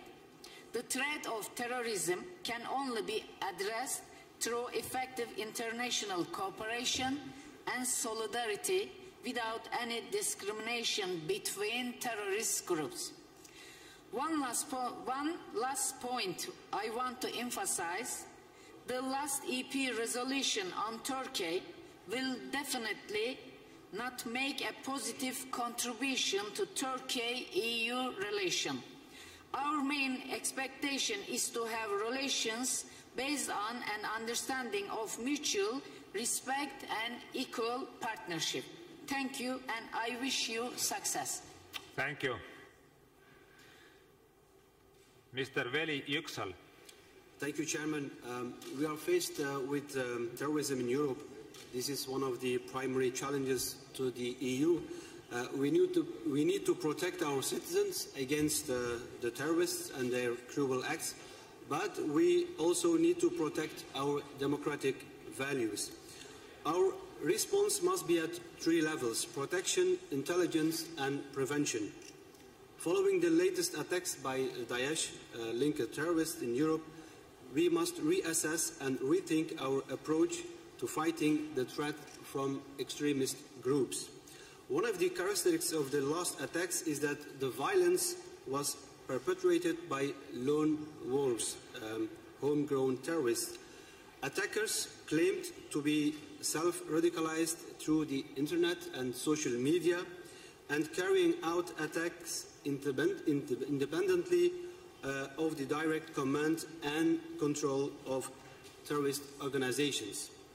Social media plays a crucial role in this terror wave, and social media and online video became important tools for terrorists.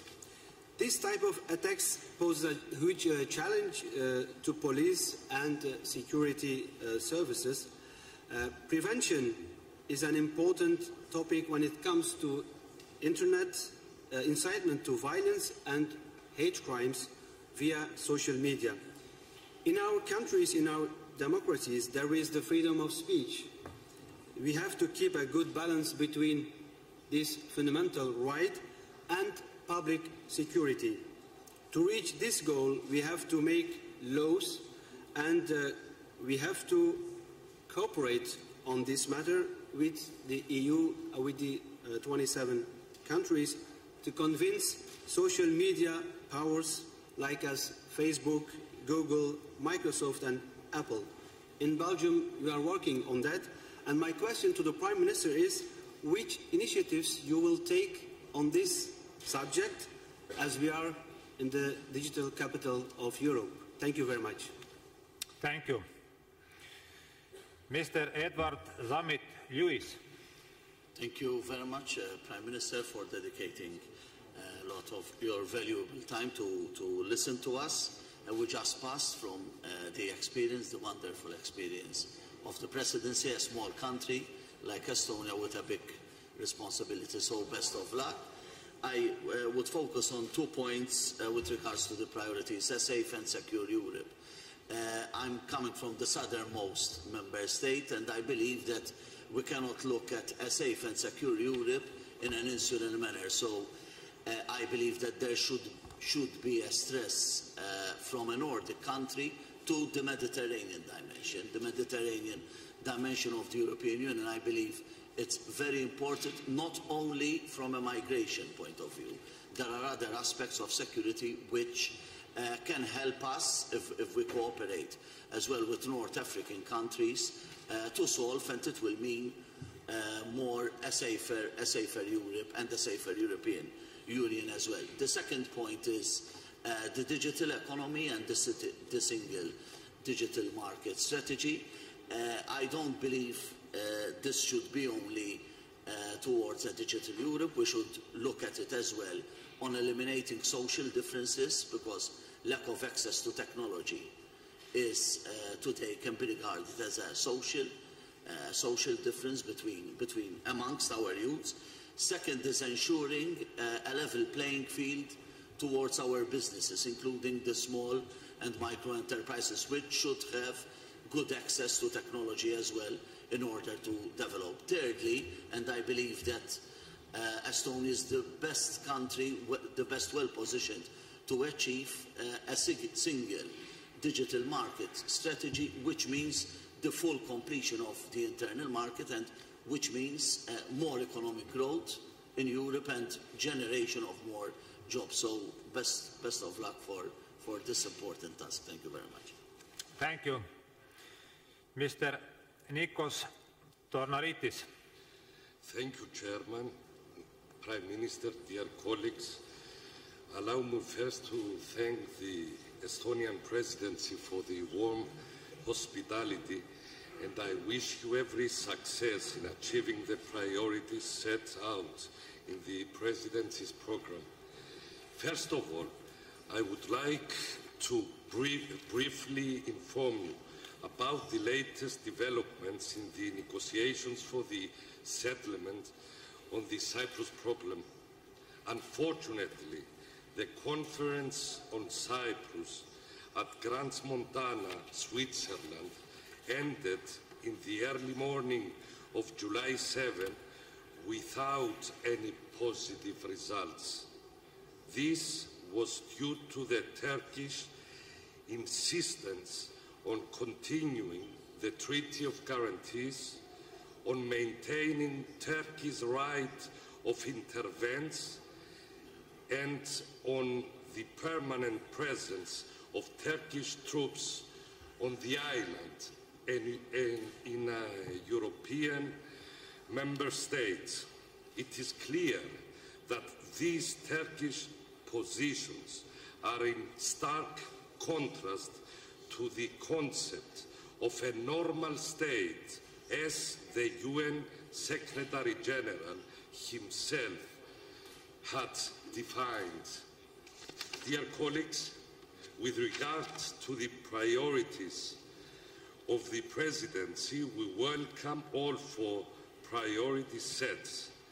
We particularly agree with the goals of the presidency with regard to making the financing of terrorism more difficult, improving cooperation between police and security forces, as well as improving the making more efficient the information exchange systems of European Union, Union member states in the process of making our neighbourhood safer and strengthening the streamlining of the common European asylum system is crucial in order to urgently establish a much needed, more coherent, efficient and well managed migration, asylum and borders policy. Thank you very much. Thank you. Ms. Soraya Rodriguez.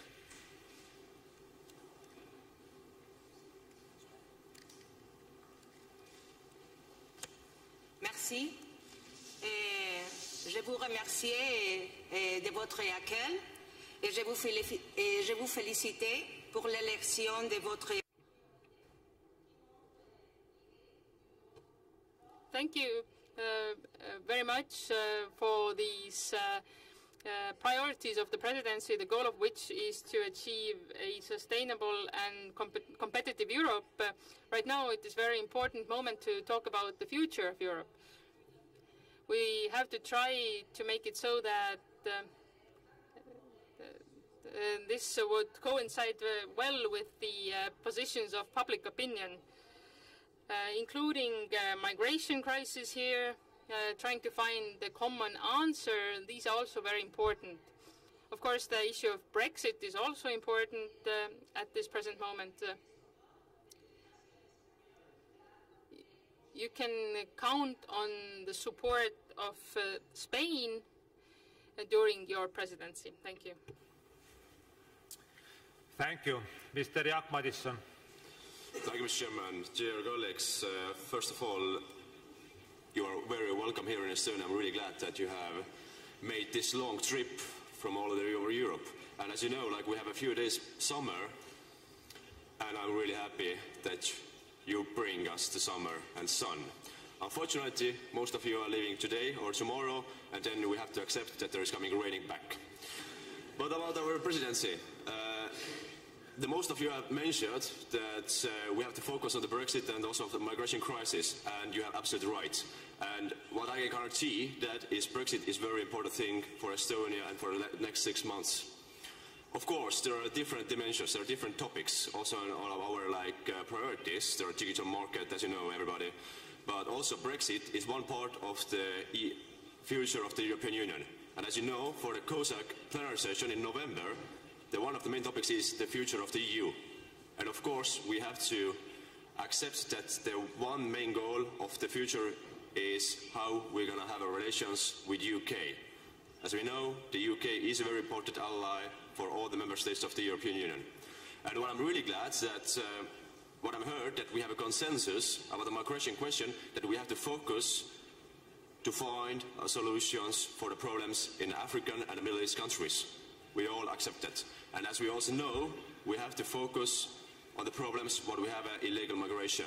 And everybody has a consensus that we have to have more effective sending back system. Because let's start with uh, same things where we have uh, agreements and then let's go for the future. Thank you for wel welcoming and have a nice day in Estonia. Thank you, Mr. Madison. Thank you all for your comments. I pass the floor back to Prime Minister Ratas for remarks on the debate.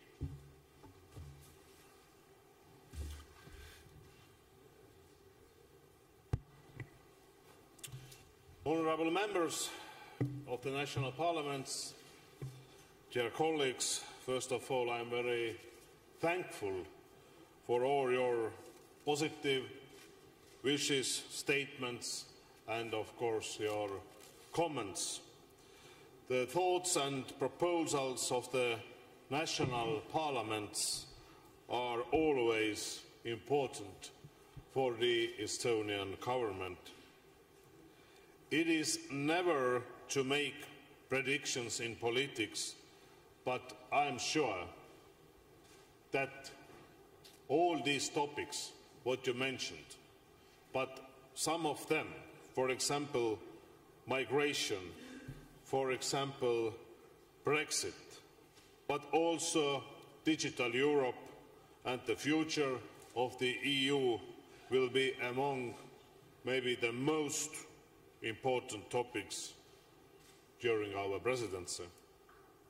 If I may to say only some remarks or some our opinions about first migration, then uh, I promise you that uh, this question, it isn't only the question for the Italy. It's a question for uh, all EU 28 member states. As I already mentioned, the Estonian government has recently decided to support the EU Africa Trust Fund. We are also highly committed to carry on with the asylum system reform and taking guidelines from the European Council conclusions agreed in June. We are following the developments in Italy closely and we can assure that Italy is not alone with their concern. Migration was also the key topic of the first informal meeting of the EU ministers of interior that took place here in Tallinn on the 6th of July. The ministers had fruitful discussions in Tallinn and agreed that the Commission action plan should be Im implemented quickly. Uh, now, the second point, the Brexit, what a lot of you mentioned. I think when it comes to Brexit, then our main goal is to keep these 27 member states united. A lot of uh, my colleagues, if I had these bilateral meetings or here in Estonia, if they asking what is the what is your main priority or what is the main priority for Estonian presidency, then I said always that to keep this united, to keep uh, European Union more united, more stronger, more safe. And uh, of course, the question is the rights of our citizens, and the United Kingdom is the first priority. It is in all our all interest that uh, the divorce process goes as smooth as possible. We expect to continue a close and friendly relationship with the United Kingdom. I also said to Mr. Barnier that we fully support and trust Mr. Barnier as the chief of negotiator. I think he's doing a very hard on the one hand, but on the other hand, very good job. Estonia, along the other member states, will work closely with all the involved EU institutions. Some uh, words also about the social Europe. I think it is another challenging area during our presidency is finding compromise in social dossiers, for example, labour mobility, posting of workers. We will devote a lot of attention and time there as regards European Pillar of Social Rights. Estonian presidency is working hard at the Council to be ready for signing the proclamation in the end of this year in December. Dear ladies and gentlemen, some words, of course, the digital agenda and the dig digital Europe. We are, I mean, Estonia is a small country, but we have the many valuable ideas that we would like to share with all of you, with all Europe. This is why we wish to look at our common future together and make the EU a better place to live for everyone. Enlargement and also the, including the Eastern Partnership, both of them, they are important topics during our presidency. Was the question about the data ownership. I think it is the main question of the free movement of data and of course there is no clear answer yet. What is important is that we have clear rules of access, we use and reuse of data. We will start discussions next week, a high-level ministerial conference.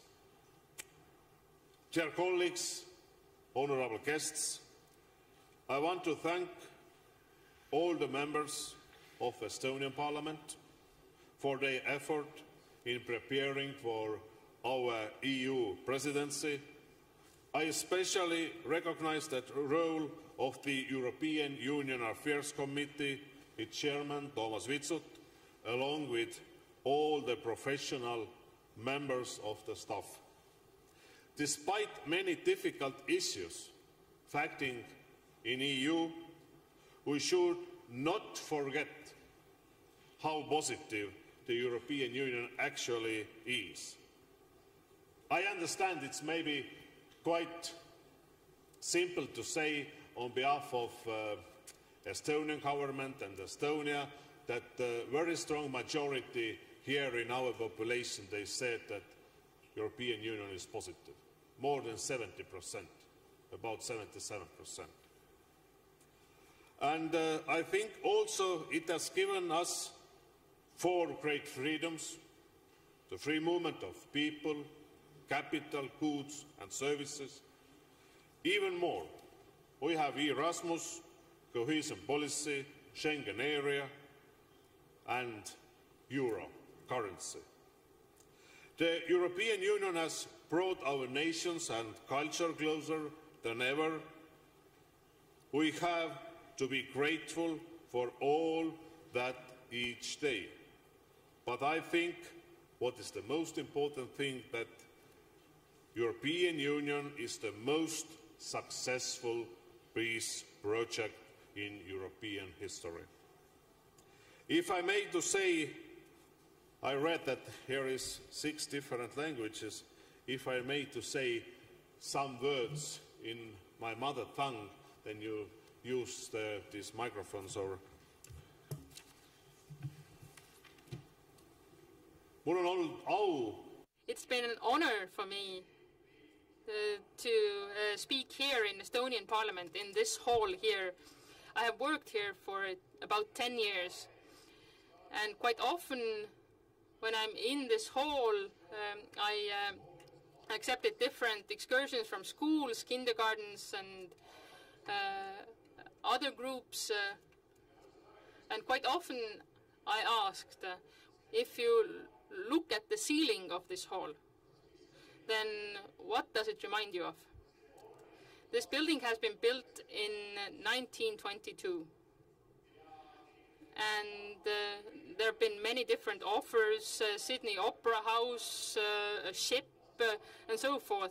But the ceiling of this building, designed by the two architects that uh, uh, made the project of this building in 1922, they had the idea that when we uh, reached uh, July the 10th, 2017, and honorable members of the European National Parliament arrive here, they look at the ceiling, and it's supposed to look like a potato field, a field. And uh, the idea was that you have to tend your field well to get a good crop. And I think the same parallel applies to Europe as well. We have to tend to the field quite a lot to reach a good crop, and we have to. We can only do this together. We have to work together on this. For your fruitful discussions, I wish you all the best to stay here in Estonia and Tallinn. Thank you.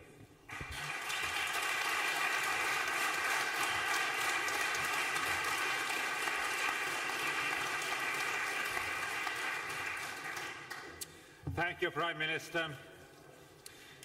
During the presidency, also in parliamentary level, we tried to stay as neutral as possible.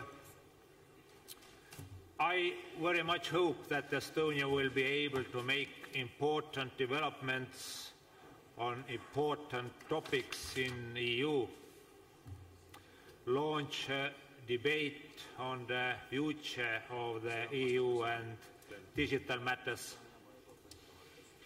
Our main goal during EU presidency, as our Prime Minister said, is to preserve the unity of EU.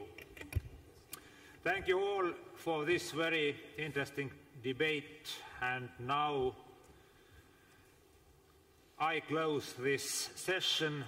Before I let you enjoy the coffee break, let's take the traditional family photo. We will have the photo taken outside from the plenary room on the stairs. The staff will show you the way.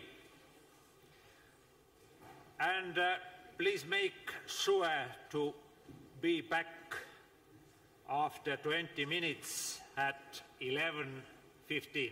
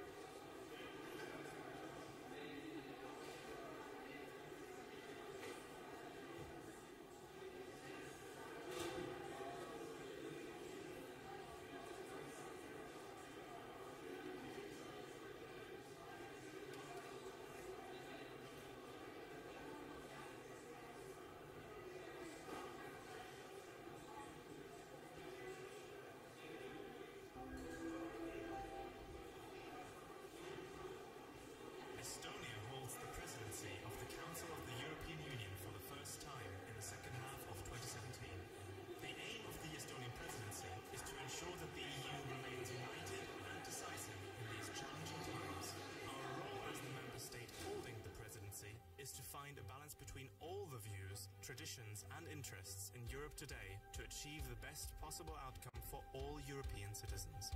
Although we will be taking forward all the key issues within the EU during our six months, we will focus on delivering most in four priority areas. An open and innovative European economy, a safe and secure Europe, a digital Europe and the free movement of data, an inclusive and sustainable Europe. The European economy has to be open innovative to stay competitive.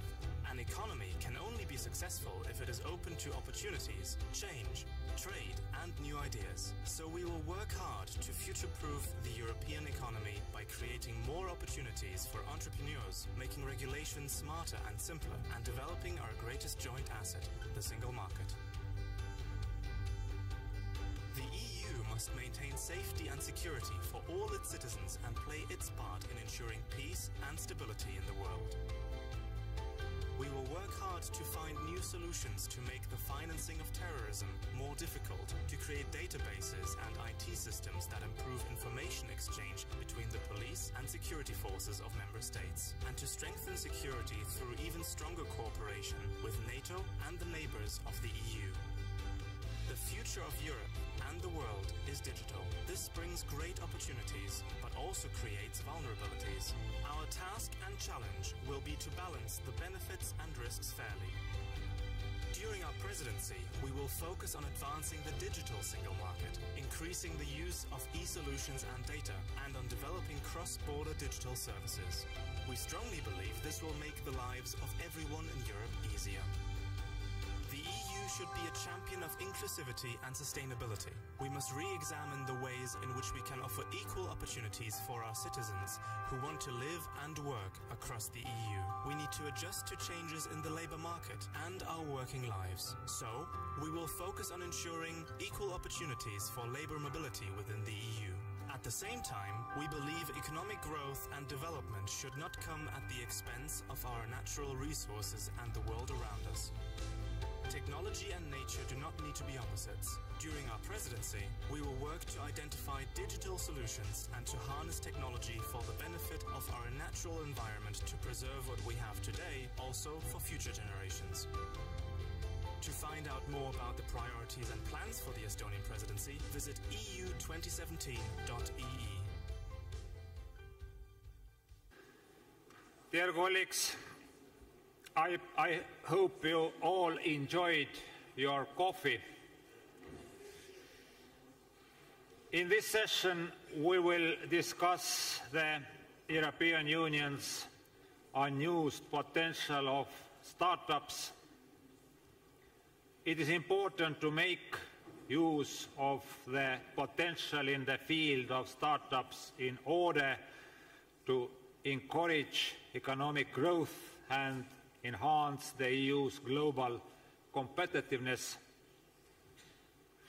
There is no lack of innovative ideas and entrepreneurial spirit in Europe. However, many new firms do not make it beyond the critical first few years. Therefore, startups are not delivering their full, full innovate, innovation and job creation potential in Europe. According to Startup Hubs Europe, there are more than 800,000 startup companies in the EU, generating more than 420 billion euro in revenue and providing 4.5 million jobs. Let us now share our ideas and best practices.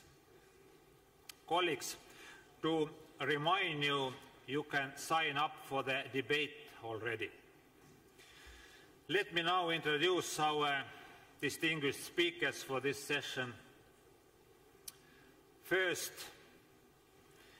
Ms. Christine Schreiber, Director of COSME Program and SME Policy, Directorate General for Internal Market, Industry, Entrepreneurship and SMEs, European Commission.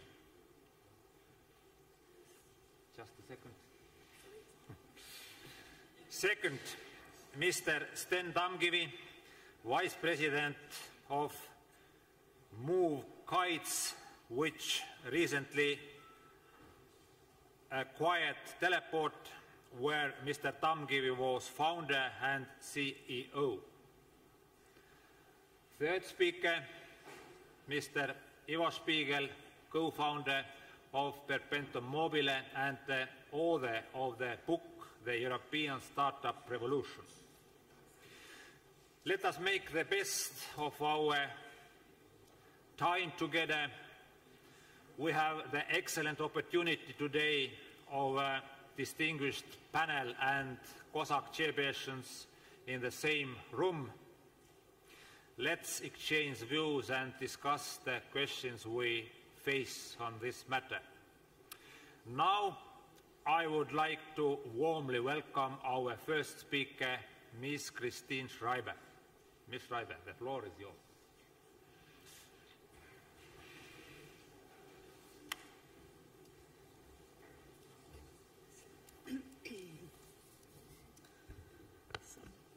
So, thank you, Chairman, honorable members, ladies and gentlemen. You can see how eager I was to come down uh, and how privileged and honored I feel to be here in uh, this beautiful uh, historical building in Tallinn, in Estonia, as we have already heard. And I think there is probably uh, very few places which would be as fitting to discuss the topic we're discussing today, because I think we could see already how well Estonia combines tradition with new technology. I mean, we had a nice example yesterday evening over the music, uh, and I think uh, so. This is really a great place. Also, for me, emotionally, it's always a big, I mean, very um, impressive when you have a new member state. I mean, they're no longer that new, but still a new member state having the presidency. I spent five years working with the commissioner on the enlargement negotiations, and I think it's every time very emotional to see uh, the final graduation process, which is the uh, presidency. Um, the Prime Minister spoke about uh, the goals of the Estonian presidency, uh, stressing very much the need to strengthen EU unity and also delivering to our citizens. And I think this panel is really about delivering to our citizens and hence making, I mean, Europe stronger. So this is about the untapped potential in Europe, which we should use. And actually, when we started focusing on startups in the European Commission, a lot of us thought that the issue was really helping companies to get starting in the first place. And we tended to think that we were actually trailing behind the US as far as company creation. And indeed, of course, we could still do more on that. We still hear complaints from entrepreneurs who need to get going fast and cross border from day one and who want one set of rules. But when we looked at the hard evidence, through a board consultation with entrepreneurs and startups, what we saw was slightly different. And actually, an OECD study confirms this that there is no major difference between the US and the EU in terms of the creation of startups. What is different is what happens to those new firms. Compared in particular to the US, which we do use as a benchmark, fewer startups survive, especially after two to five years, and their growth rate still tends to be much lower. Yet we all know that it's often young, high growth companies that create most of the jobs and growth in Europe. And firms younger than five years account for a higher share of growth and jobs than more mature firms. And by the way, as much as we love the tech sector, in particular here in Digital Estonia, studies show that high growth firms are not exclusive to so called high tech sectors. Instead, they are present in all major sectors of European economies, with a higher share of firms and jobs in services than manufacturing. So we need to do something about, in particular, uh, the survival rate of companies, the boosting the number of firms that scale up, and their growth rate. Um, that's why we, after the careful consultation we did uh, before our policy initiative, we focused on what we call the Startup and Scale Up Initiative, which was adopted last November and which you have seen. Uh, all in all, we have 46 measures in that initiative. Don't worry, I'm not going to go through all the 46 measures, um, but I would just like to highlight the three major topics we have identified and for which we need your support in terms of implementation. The first uh, issue is finance. So whilst EU startups are able to access finance to get going, companies find it much harder to secure capital as they grow. And I would really like to stress that the COSME program, for which I'm responsible for, has really done, I think, a great job. We have helped over 175,000 companies in Europe uh, with this loan guarantee scheme, which helps really also small ticket, small companies to set off. So I think there we have been actually quite successful with very tremendous leverage rates. But as I said, we do need um, to improve, uh, especially in the area of venture capital. And there's actually 14 times more capital and venture capital funds aimed at later stage financing in the US and Europe. So we will have seen that we announced measures including this pan-European venture capital fund of funds, which will hopefully up and, be up and running uh, by September. And we are also working on the pilot for the European Innovation Council to make the SME instrument, uh, in which, by the way, Estonia is extremely successful, even more operational and targeted uh, for innovative firms. But that's the second topic, finance is not enough. Startups and scale-ups need opportunities and partners, investors, business partners, and research partners. So we are developing currently a pilot scheme for matchmaking where we have actually identified that startups really need to be put in contact with larger mid-caps. I mean, all the large corporates, they do have their own uh, scouts for, uh, for startups, for innovation, but if you take the traditional larger Mittelstand, the mid-caps, they often don't have this capacity, and they would gain tremendously in being uh, matched uh, with innovative startups which provide interesting technological solutions. And we're also going to use a lot the Enterprise Europe network So I would have a big call to you.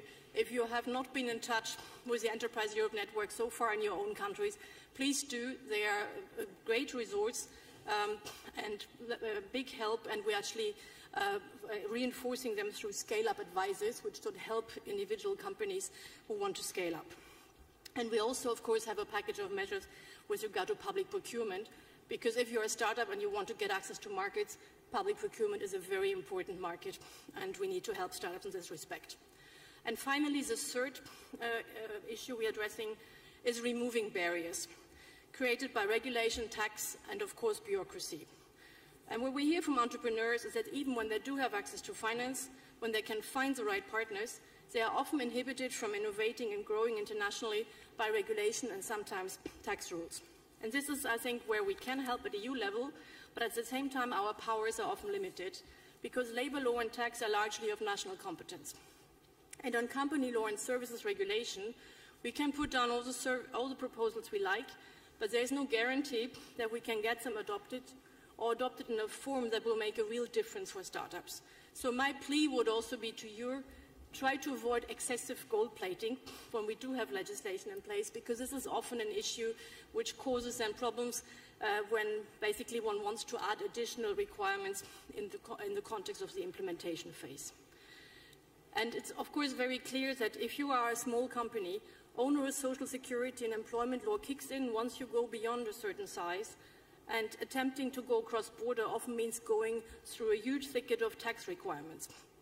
And again, this is not about avoiding taxes or employment rules, but it's about making sure that we comply with the requirements without excessive bureaucracy.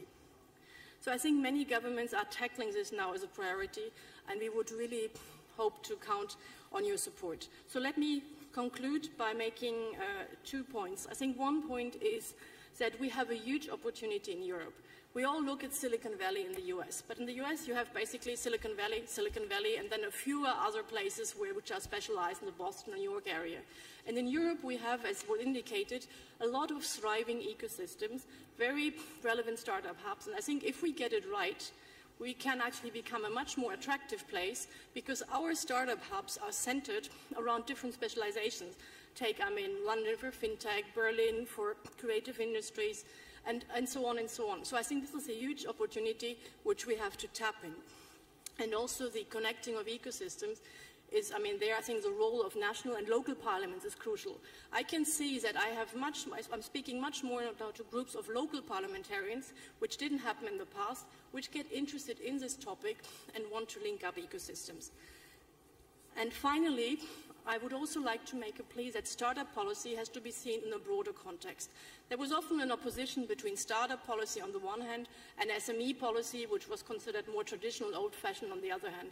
And I think there's a continuum, because scale-ups can be very innovative, high-tech startups, but it can also concern more traditional SMEs which want to innovate. And I think we really have to look at both of them together because I mean, SMEs, this is a cliche, but it still holds true, are the backbone of our economy. So within this spirit, we are working um, on our startup and SME policy. We will be back in Tallinn in November where we actually combine the two issues with the Startup Nation Summit and our SME Assembly, and that will just be before your next uh, COSAC meeting. So thank you very much for having me here today, and I'm looking forward to an interesting debate.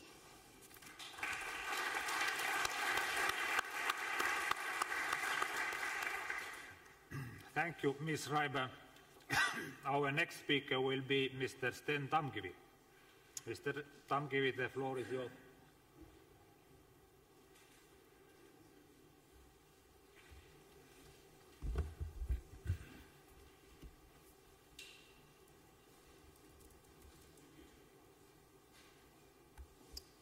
Esteemed chairpersons, delegates, dear fellow Europeans. I stand be before you here today because I build companies in Europe. Uh, I founded my first one at the age of 18 here in Estonia. A few, few years later, I had the honor of contributing to the early years of startup called Skype. And most recently, I sold my latest uh, company, Teleport, to a global tech company called MoveGuides. Our team is now working from Tallinn side by side with new colleagues in San Francisco, London, and Hong Kong.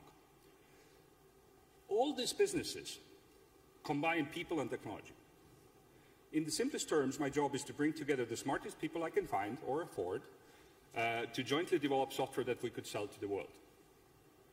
As the talent required is everywhere, and the markets are global, my work has taken me to live in London, Singapore, and Silicon Valley. Yet somehow I'm back here in Estonia building my next great thing. Why? Let me, let me start on the national level and tell you a little bit about the Estonian experience. Estonia is a nation of startups. First of all, we're tiny.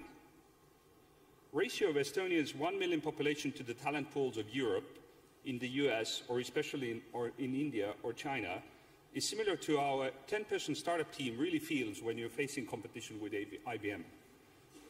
A village shop against Walmart, one against millions, 10 trying to conquer the billions. But we've treated our size as, a, as an advantage, not a hindrance.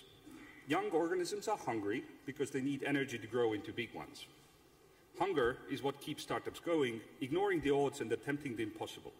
Hunger makes you creative, forces you to build with four people what others hire 40 or 400 to build. This is a ruthless process of natural selection, but the companies that make it to the other side are as strong as they come. Per every nine Estonian startup names that you will unfortunately never hear or remember, you will have one Skype or Playtech or TransferWise or Pipedrive or Starship coming out on the other end. With this looming prize in sight, uh, Estonia has the highest numbers of startups per capita in Europe. That means that our tech talent is gathering in small teams trying to create something innovative and new. And just to share some numbers, we have about 400 active startup teams uh, in Estonia, and in 2016 they raised altogether 100 million euros of early stage venture capital.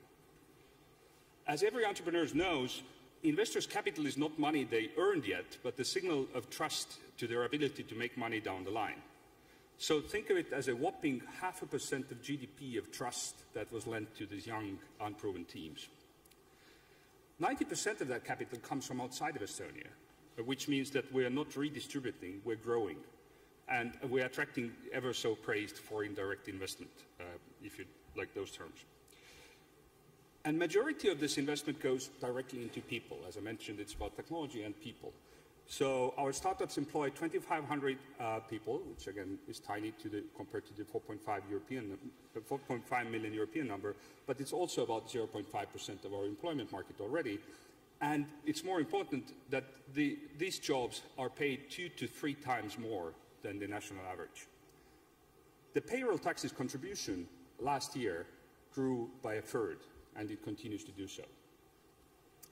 So this is Estonia, one of the smallest member states. If you just take just one of those metrics and extrapolate, the 12 billion of venture capital invested in Europe uh, means Estonia is punching about 10 times above the European average weight. How could we close this gap with the rest of the European Union?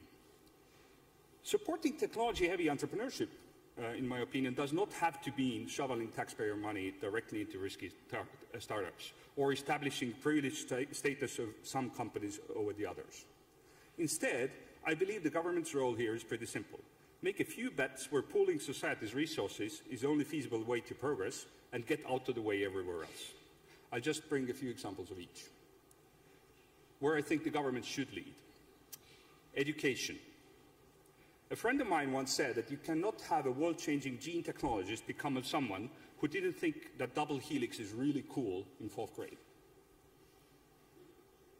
There is a baseline of having kids learn math and hard sciences, of course, but it also matters how they learn it. License to be curious and ask questions, build things together, present what they came up with, work with peers across time zones. These are the skills that the kids need to be able to build a tech company later, but unfortunately often have to learn on the fly after they get out of the European schools today. Secondly, values, such as openness, diversity, risk-taking. As an example of tolerating risk, an American entrepreneur with a few bankrupt companies on their CV is viewed as a more experienced to start their next company. A similar European is probably more likely seen as an utter failure and shouldn't even be allowed to try again. I also watch with extreme worry the raising voices around Europe calling to close the borders, shut the blinds, and stay indoors, both mentally and physically.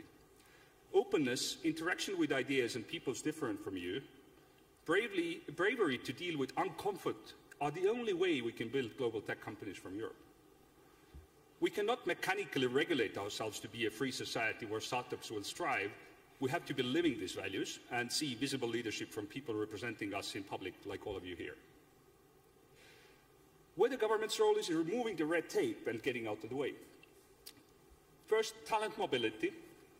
A recent survey by Startup Genome points out that the success rate of approved visa applications for foreign tech workers in Estonia is higher than anywhere else in the world, 84.5%, over two times more than the global 41%. This is where Europe should set the bar. What are the frictions we can remove with targeted innovation programs so that we can invite people who contribute to our startups from anywhere in the world? With top of the world talent, it should not matter where they randomly happen to be born and which passport they happen to have. Secondly, employment regulations. In, recent, in, my most recent startup, we had people working for an Estonian registered legal entity from Munich, Bern, Calgary, Paris, London, and Cambridge. For an entrepreneur, this is a living hell of jurisdictions. Tax regimes, paper forms in all those languages. In this startup story, from inception to exit in three years, I, as a founder, had even no chance of knowing if we're fully compliant with all cross-border regulations hitting us. The future of work is mobile. The future of team collaboration is fluid, and young professionals can create global value from anywhere they can connect to the internet. Hiring virtual teams across Europe should be, not be any harder than inside one member state if we're serious about single market. Once work is data, the value that people generate is data. You see how the principle of free movement of data is unavoidable enabling a single labor market as well. In conclusion, Please do not think of startups as some isolated subset of economy or a goal in itself. Do think of startups as pathfinders, the experimenters on the front lines of our future economy. Every barrier that you can remove from the way of startups growing to successful companies and every new step towards increasing the amount of available talent on the market are a step closer to the future for which we have equipped with the best knowledge available. General societal goods will stem from supporting the budding startups and the positive effects that quickly spill over to the overall economy and society at large. I wish you strength in enabling such future for Europe. Thank you.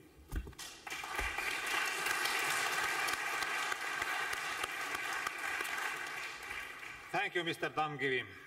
Now I am delighted to give the floor to Mr. Ivo Spigel. Mr. Spigel, please take the floor.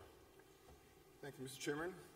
Ladies and gentlemen, uh, I would like to say uh, hello to all of you and thank you for the invitation to this uh, session. I'm used to speaking at many technology conferences, but it's my first time speaking in a parliament, especially in such a beautiful building. Um, I would like to ask a question from the audience now. How many of you love music? Okay, nice to hear. I would like to take you back now to January the 9th, 2001. Uh, this was a date when a software program was launched by an American company called Apple, and the software was called iTunes.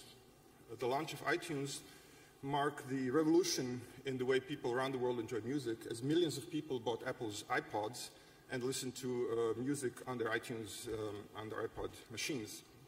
Today, we don't listen to iPods anymore, and we don't use iTunes anymore. We listen to Spotify, Deezer, Last.fm uh, SoundCloud. All of these companies are European startup successes.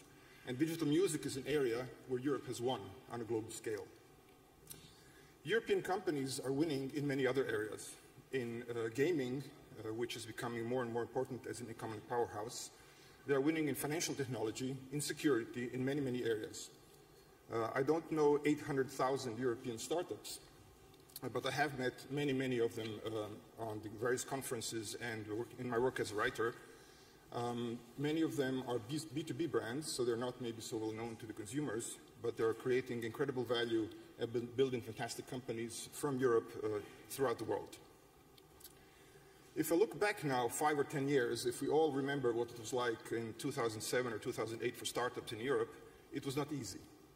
Uh, there was not uh, support, there was very little funding, uh, there was very little of an ecosystem built in Europe.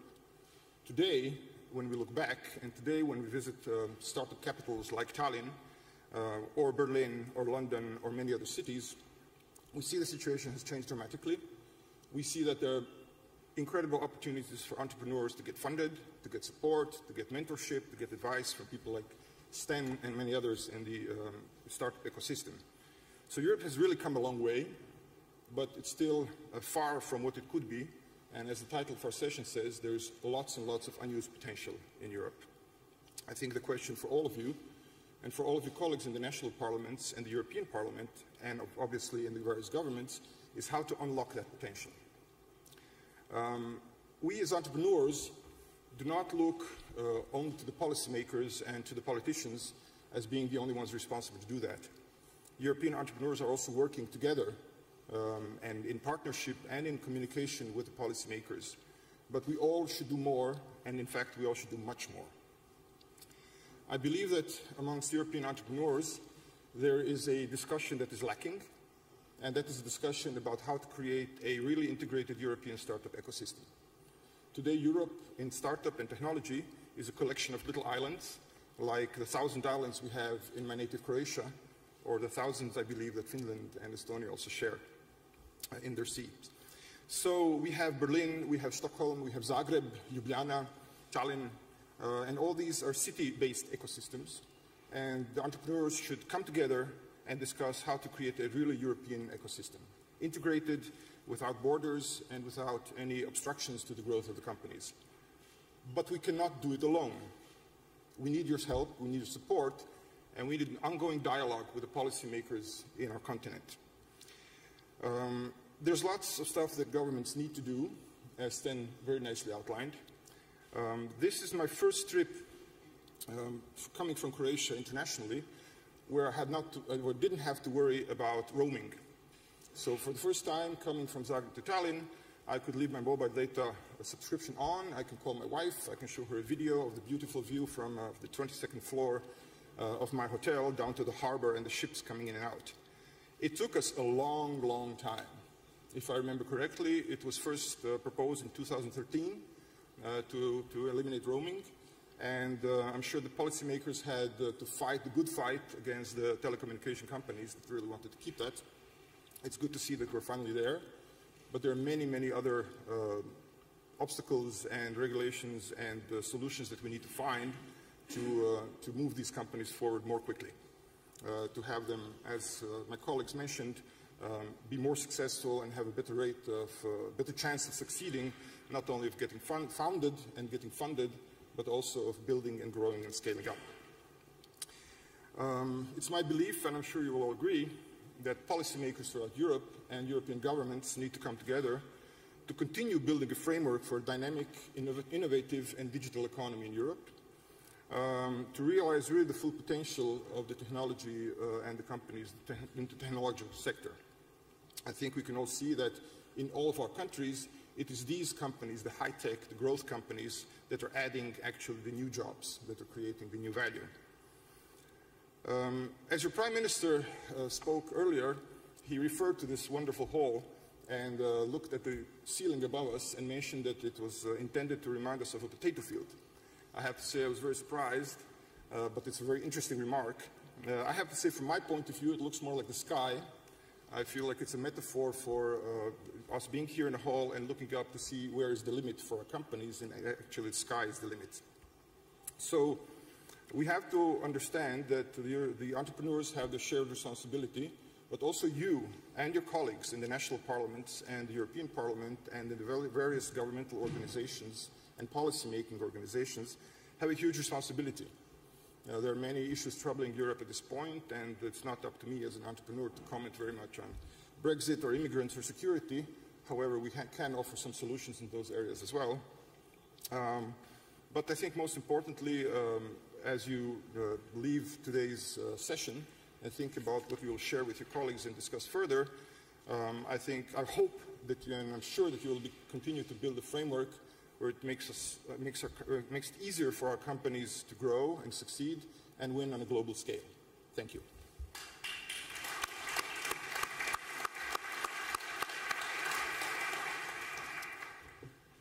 Thank you, Mr. Spigel. Colleagues, now we may move on to the panel discussion. There are a lot of you signed up for the debate, Please hold your individual remarks within two minutes. The time will be displayed on the screen. Mr. Edgar Mayer. Thank you, Chair. Well, Estonia enjoys the great reputation of being a digital world power, so uh, I think uh, it's quite apt to put it on this meeting's agenda. We heard about the advantages, and it's about the question as to how to facilitate the setup of a company, and of course, related to that, the question how can you grow based upon a successful establishment? So that's a big issue, and that's why our government uh, established a package, 185 million billion uh, euros for three years in order to facilitate startup. We had 670 uh, new companies uh, in the past six months, and 620 of which have already become independent. So there's a couple of issues you can raise. Uh, we uh, take over ancillary uh, wage costs for the companies for three years. We uh, established a one-stop shop for advice and help for these companies. So there's a couple of ways, a couple of things you can do in order to strengthen the startup companies and to actually help them grow and uh, gain a foothold. Um, another issue is important to uh, science. There's a specialist program, A plus B. It links academia with business, and this is also supposed uh, supposed to um, give new scientific findings uh, in order to improve the situation for startups. So this cooperation actually um, bore fruit in many respects, and we consider it quite successful. We want to continue in this fashion very intensely. We want to further elaborate these opportunities. And uh, maybe another figure as far as jobs are concerned.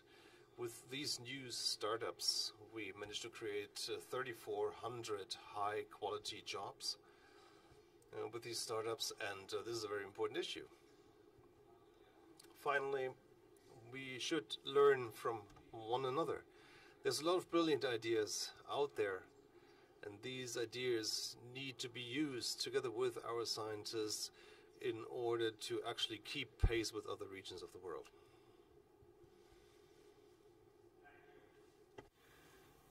Ms. Jóna Sólveig Elínardóttir. Mr. Chair, thank you. I would like to reiterate how much I appreciate the strong focus that the Estonian presidency places on openness, competitiveness and innovation. Three terms so closely intertwined, and this cannot be emphasized often enough. We in Iceland are proud to be active participants on EU level, and we are actually quite strong when it comes to innovation and participation in EU programs in that field. In Iceland, we've participated in uh, the COSME program, and moreover, we have had 29 participants in the SME instrument, whereof projects received grants for the amount of approximately 5 million euros in the field of blue, blue growth, energy, ICT, and transport. Also, the startup environment in Iceland has been blooming for the past few years, with gaming being the most prominent field. The largest company by far is CCP Games, which is one of the leading virtual reality gaming companies in the world. Another successful company, Meniga, which aims to transform the way banks and advertisers use transaction data, has recently enjoyed a, a 5.7 million euros investment. It is also important to provide a platform for entrepreneurs and investors to meet. Various startup conferences have been held in Iceland and three accelerators are currently operated. Startup Reykjavik, Startup Energy Reykjavik and Startup Tourism, which nearly 100 companies have benefited from. Other startup companies, both in the gaming and special effects industry, keep growing as well and have picked up seed investment of several million euros. The Icelandic government has made it a priority to establish a good framework for the startup, startup companies to grow. We have increased government funding to the Technology Development Fund, which provides financial support to startups and provided tax incentives both to entrepreneurs and startup investors. All of this said, I must say that I really enjoyed our visit to the Talent Design House yesterday. It was really a clear reminder of how much we can all learn and benefit from each other. Thank you very much. Thank you. Mr. Richard Hörcsik. Thank you, the floor, Mr. Chairman. According to the issue on increasing economic and growth and competitiveness in the European Union, I wish to highlight one of the most outstanding recent Hungarian examples, namely the Prezi. The Prezi, which is a famous presentation software company founded by the Hungarian youngsters. In 2014, the President won in the category for the best start-up funder of the Europe's event. Mr. Chairman, I think that the small and medium-sized enterprises and the start-ups are the driving forces of our growth. In this field, we do our best uh, at home to improve business environment, competitiveness and increase employment by the following means. Just I would like to mention four points. The first, the Hungarian government wishes to spend 60% of the European Union funds on economic development. Second, the National Competitiveness Council was established in March 2017 with the task of drawing up and re reviving initiatives relevant to the competitiveness of the Hungarian economy. Third, digital startup strategy adopted by the Hungarian government in 2016 is aiming to develop a thriving Hungarian startup ecosystem by 2020. The strategy is putting emphasis on supporting, for instance, collaboration between multinational industrial companies and the local startup.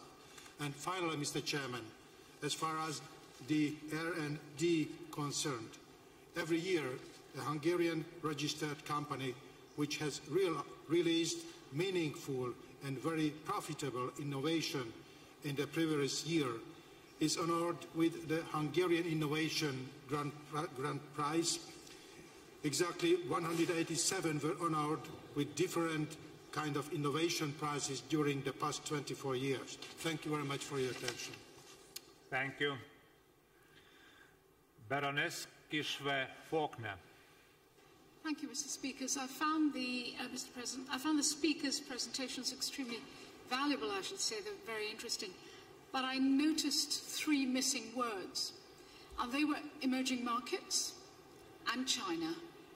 And the fact that we're having this very Eurocentric discussion at the same time that we're talking about scaling up, it seems to ignore the fact that the scaling up is not happening in the EU, it's happening elsewhere.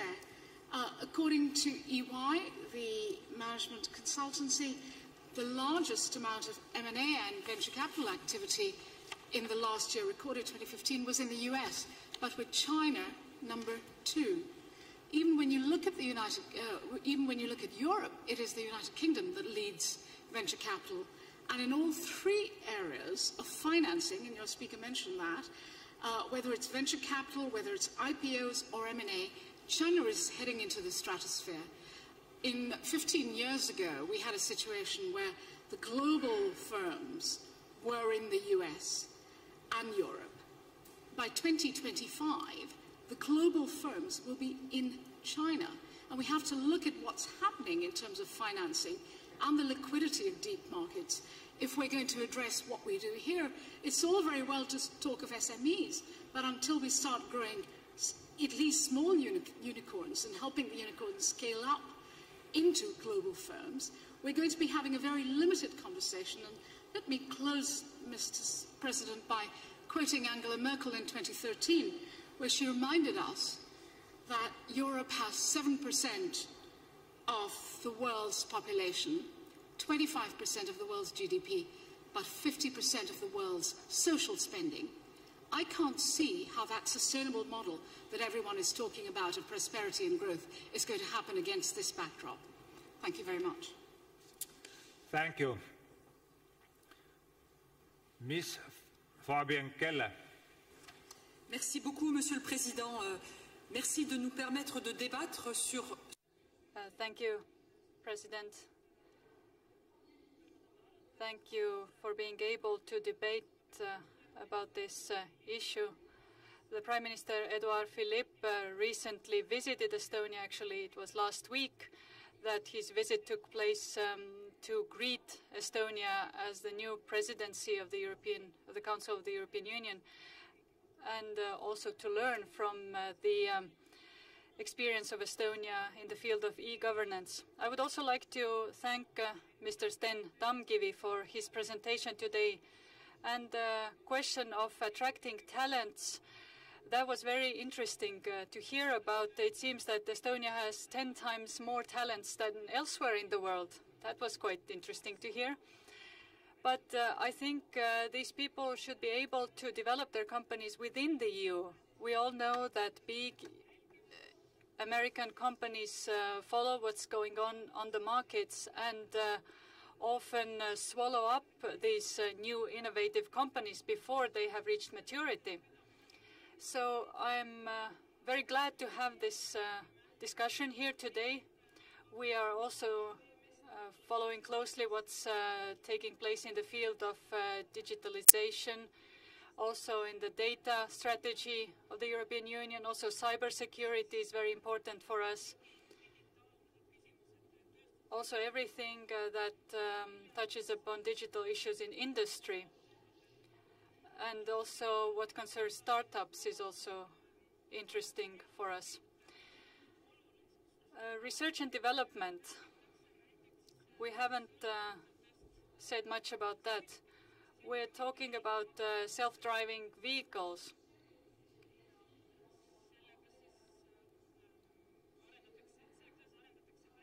And we see that uh, software is being developed in that field, and we see that the European industry has um, led the way in this field, and the digitalization in, of this field is also very important. Thank you.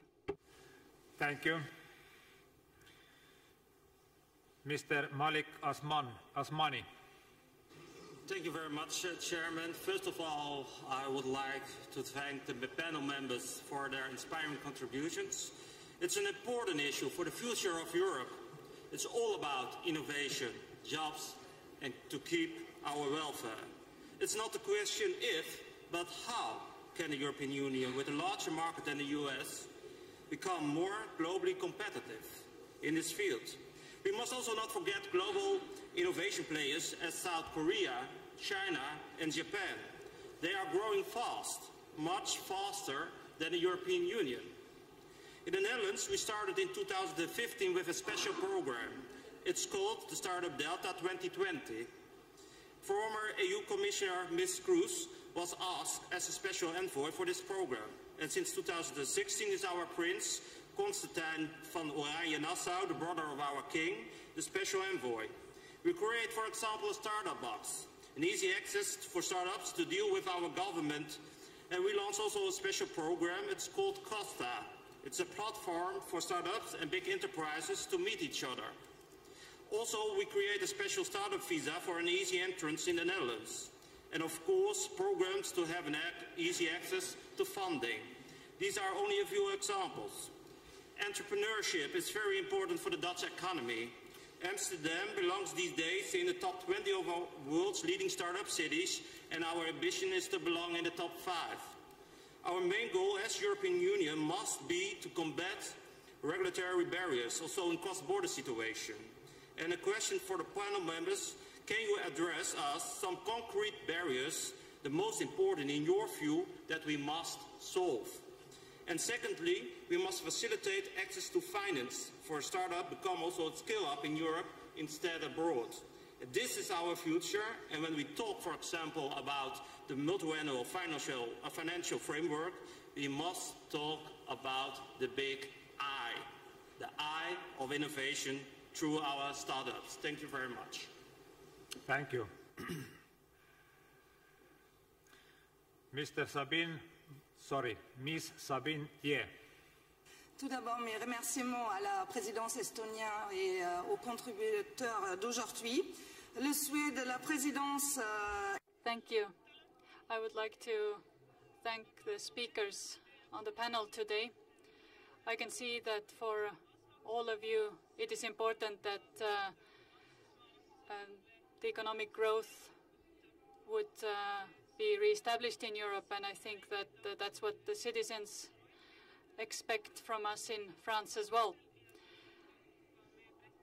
our President uh, Macron, only a few days after being uh, um, after taking office, uh, was uh, present at the inauguration of uh, Station F, which is a huge campus where there are lots of um, workplaces and 600 companies can um, exist side by side.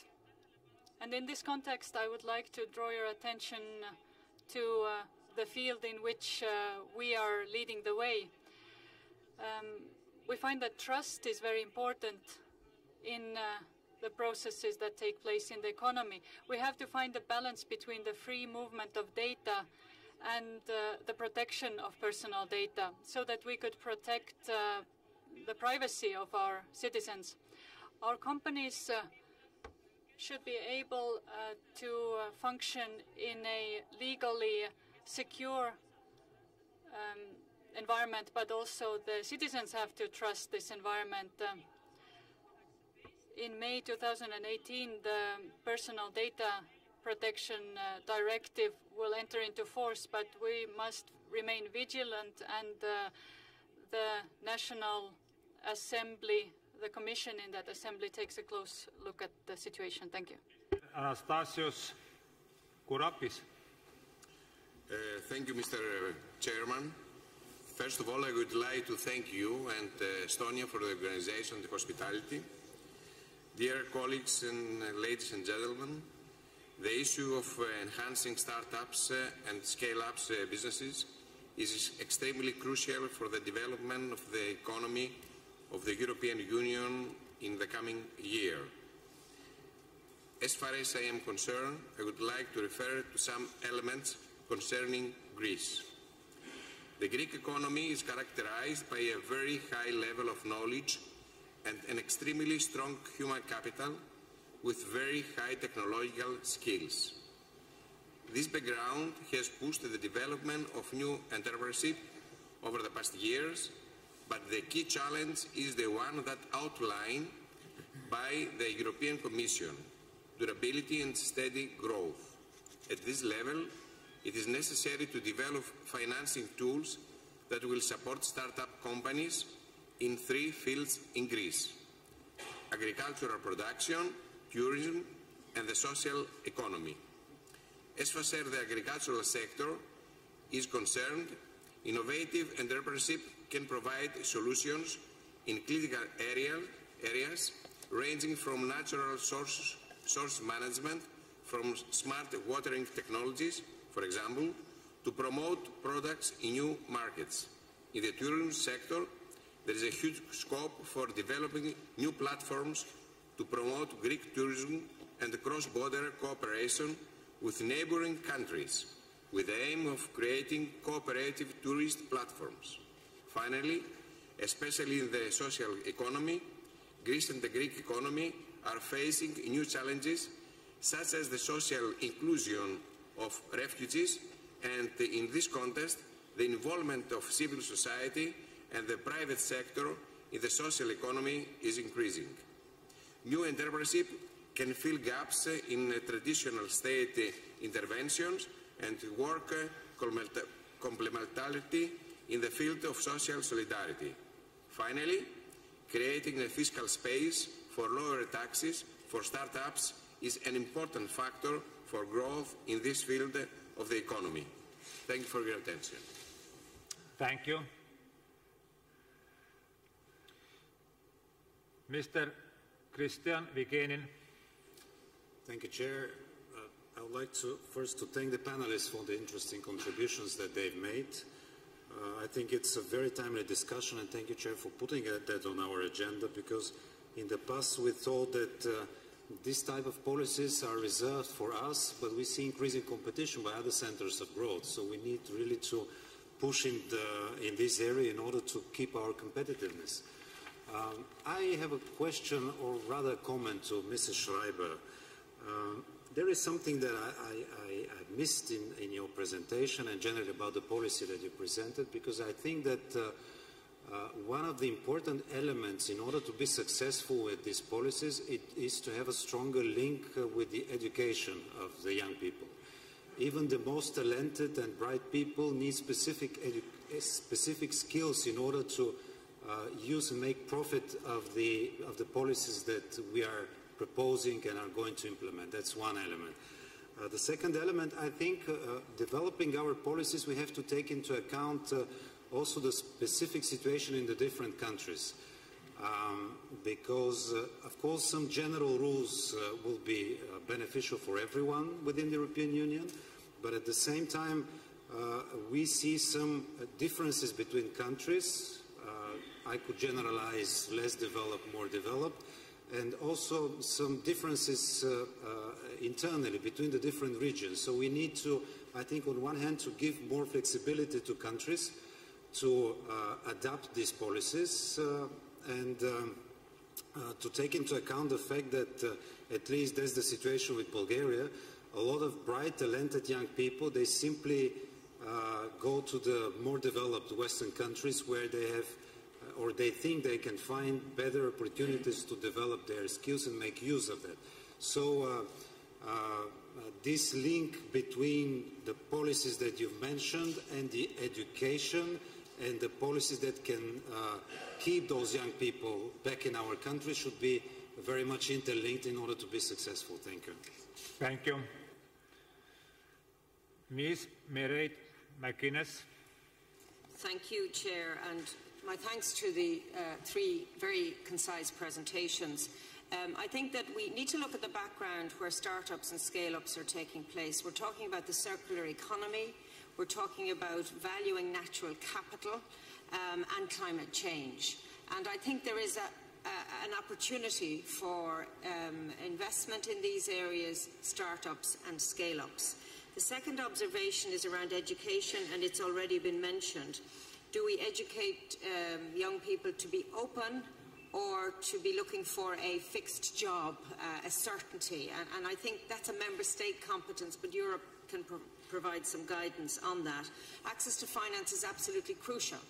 Um, and I still think there are differences both in the cost of finance across Europe and indeed ready availability of finance. And we need to look beyond the current banking system to allow these uh, entrepreneurs to not just start up, but also to scale up. I think, for example, there are um, good role models to use, like for the med tech sector, where the medical profession, hospitals work with uh, universities and with the industry because they can innovate together to find solutions uh, for health um, uh, uh area uh, where individually they would not be as effective. So I think that collaboration is absolutely key. Uh, but in terms of uh, the scale-up part of it, there is no doubt, I do believe China is making a very deliberate effort to draw the best from the world uh, to their startups and scale-ups, and I think Europe needs to respond. But the climate is more confident than it was, as, as was mentioned, in 2007 and 2008, and we need a good uh, air of confidence and a can-do attitude for entrepreneurs to take up the challenge. Thank you.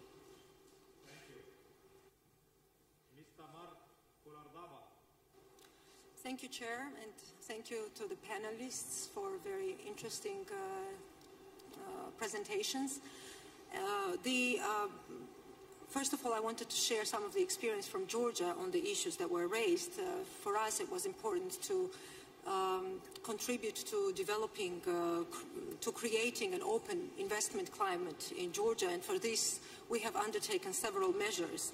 Um, we have uh, lowered taxes. We have simplified uh, and reformed customs practices. Of course, we have tackled corruption. Uh, we have made property registration easier.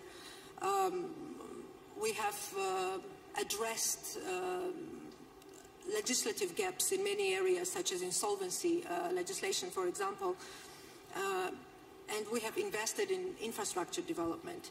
What, through the results, through the uh, measures that have been implemented, Georgia now ranks 16th uh, in uh, ease of doing business in the world, and it is second in its income group.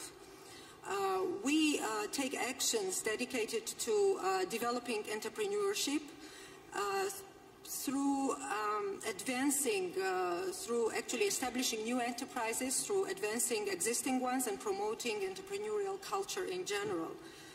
Estonia has been a good model for Georgia in many ways, and it has been a good model. Uh, I knew this uh, before in that, uh, for uh, reforming our taxation system. We have recently introduced a new system through which um, we uh, do not tax the undistributed profit of the companies, and this is something that is to generate more employment opportunities and growth of enterprises, we believe. Uh, but it has also been a good model for us in terms of uh, putting, investing in startups. And I found that out yesterday when uh, you had a very nice visit organized to the uh, Estonian Design House. The idea that we have also developed is similar to what was presented here in Estonia, where we also have business incubators and where our government invests in new um, companies uh, through mentorship and through um, uh, education, of course, which is also very important for promoting economic opportunities. Thank you. Thank you.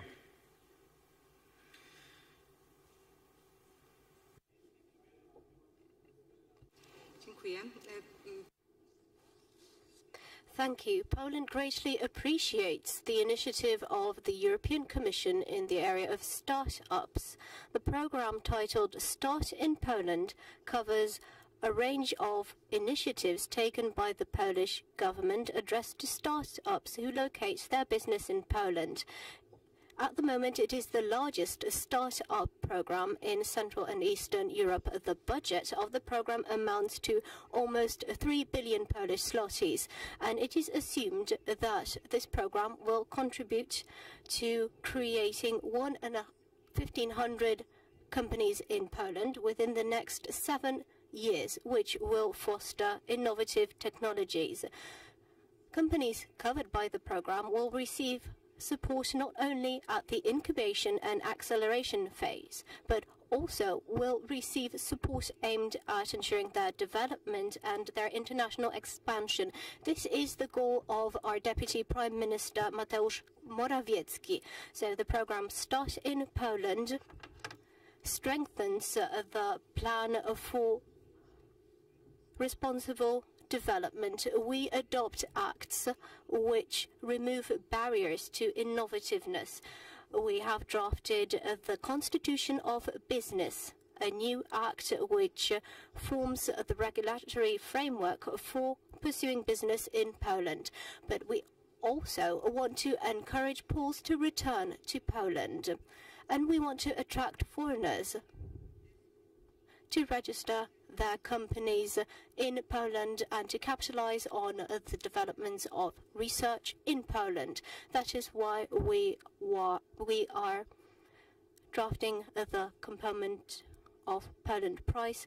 We will help foreigners legalize their stay in Poland and move their companies to Poland. The program also provides mentoring on business and assistance in creating comprehensive offers for investors. So Poland is heavily investing in startups. Ms. Marianne Mikko. Thank you very much. I'm using this opportunity to speak in my own parliament hall, to speak in Estonian as I always do. I wish to speak in Estonian here in COSAC as well. I am very pleased about uh, our discussion today, both uh, during the first half of the day when the Prime Minister spoke to us, uh, but also right now. Uh, uh, Mrs. Schreiber, Mr. Tamkivi, Mr. Spigel spoke to us, and the presentations were all great. But regardless of that, I would come back uh, to the question posed during the first half of the day posed by our president, our prime minister, the uh, free movement of data. In Estonia, it is quite natural for us that many services that we uh, use uh, in our everyday life uh, go through the internet. So the free movement of data in Estonia, not only in Tallinn, but also in other smaller locations, it's uh, clear to us, inevitable. But uh, here in the hall, we uh, heard these thoughts that in case of free movement of data, who uh, has the ownership priority and isn't it dangerous? What happens to the data? And that's why I would be very happy if uh, our three great uh, presenters would answer from their own perspective uh, what would happen to the free movement of data if it uh, became one or the fifth freedom of uh, the European Union? And another small question that uh, kind of stuck with me when Mrs. Uh, Schreiber said that uh, unfortunately in Europe we do not have this kind of place as Silicon Valley is in the United States. So my question is to Sten Tamkivi, what would happen and would it be conceivable, would it be good, should there be a Silicon Valley type uh, uh, place or location in Europe? Thank you. Aitäh. Thank you. Mr. Pablo Casado. Thank you, Mr. Chair. Uh, I really agree with uh, President Juncker when he said after Bratislava summit that he would prefer talking about a better Europe rather than a, just more Europe. So I think uh, for this kind of uh, economy debates, uh, let me state just three ideas. First of all, competitiveness. Uh, I remember the Lisbon Agenda when we said several years ago that Europe couldn't compete demographically nor militarily, but we should compete in the economic field. I think for that we should have uh, enough flexibility, free trade, and also uh, lack of fiscal and bureaucratic barriers. Second of the ideas, innovation. We want to be only consumers of new products, of new technology, or also producers. Years ago, Nokia was the world leading company in cell phones and also our car manufacturer companies. Now all the software companies are abroad, in the United States or in Asia. And the third of the ideas is anticipation. Uh, the previous three industrial revolution produced social disruptions, but the, the, the, the net result were positive. So in this uh, fourth uh, revolution, we're talking a lot about self-driven cars, but maybe we're not talking about how many millions of jobs are going to be destroyed. So he, I think we should anticipate all these debates and only uh, with this way of facing this digital revolution, we should be able to afford our welfare state and our own security. Thank you. Thank you for your comments. Now I pass the floor to our speakers for remarks on the debate. Ms. Schreiber, the floor is yours. Yeah, thank you to um, everyone first for sharing the different national experiences which are um, extremely valuable. Some of them were already well known to us, others I discovered today, so this is very useful uh, insight. And thanks, of course, for your all your different uh, suggestions. Let me, of course, I will not reply to all points made, but let me just react uh, to a couple. Um, one issue which came up in several interventions was the need to look at the future and at the next uh, financial perspectives. And I think here it's really important, that's why I would also, I mean, in this context where national parliaments are present and you obviously have a strong uh, influence and impact on the preparation of these debates, that we really look what we want in the next uh, uh, financial perspectives. If we want to have a focus on innovation, and here I think really innovation in the broad sense, I mean, helping our future unicorns, startups, but also helping, I would say, more traditional companies. And I'm picking up a comment maybe from, you know, Bulgaria or Greece. Um, we, need, we need both. We need to help also the more traditional ones to, to uh, find ways of becoming more innovative and competitive. So if that's a priority, we should make sure that this is also reflected uh, in the future uh, perspectives. And we, I mean, I personally think that uh, the focus to have a particular SME focus for the first time in a program was actually useful and has delivered uh, results. But so this will stay with us in terms of, in terms of debate. Um, then uh, let me mention education skills and let's say general life competences which were mentioned. Of course, this is absolutely crucial. I mean, I try to focus on those areas where we have a direct impact. I mean, we have a lot of recommendations that our colleagues uh, in, uh, in, in, in um, responsible for the education area are doing, I think, tremendous work. Don't forget, I mean, Erasmus was quoted here. We also have Erasmus for Young Entrepreneurs, which I think is a small contribution to this uh, mindset. But fundamentally, I mean, we push uh, particularly for uh, what you call the MINT or STEM uh, competences in national curricula, but you know this is a national competence, so basically we can push and encourage, but this is not directly uh, within our remit. And for the general life competences, I would say, um, very important, uh, this issue of failing. I mean, when my, my son actually studied in the US, and when he, in the graduation speech, the um, uh, this, the uh, director said, you know, don't worry if you fail. Failing is a first attempt in learning, and then you stand up again. And I think this is really something uh, where we can learn, and we have to help entrepreneurs to stand up again. And one thing is mentality, I mean risk culture, but another thing is also to have the right legislative context. And we're actually working uh, on improving our insolvency law that an honest entrepreneur can start again and is not sort of penalized for a long time, and on the second chance regime, as we, as we call it. Um, I do think that we're actually quite local in our approach. I mean, I tried to mention that actually I think it's our asset that we don't have one Silicon Valley, but that we do have lots of regional hubs. And I mean, also back to the Bulgarian question, I think every uh, regional hub is specialized in a certain area which fits in the, in the local context. And so I, that's, I think, our, our, an important aspect. And uh, in my view, if we manage to, e to connect the ecosystems well, then we will also stop this brain drain which you mentioned, because then it's actually much easier to stay in Bulgaria, or I mean, Estonia is a proof for that. You're not exactly a very centrally located country, but very, very active in terms of the, in terms of all the interaction. And just a final comment on data. I think this will be greatly discussed uh, next week at the informal Council of Ministers. So um, I think as for all, I mean, if I can just make a general remark, as for all freedoms, you need some balances, and I think one of some of the issues were already touched upon, but it's obviously, I mean, one of the crucial issues, I think, in the context of the digital single market review, and that will be, there will be a big debate, uh, I think, next Monday in Tallinn. Thank you. Thank you. Mr. Tamkivi, the floor is yours. Thank you. Uh, appreciate the discussion that, uh, that we've heard. Um, I picked up three themes or three points to comment on.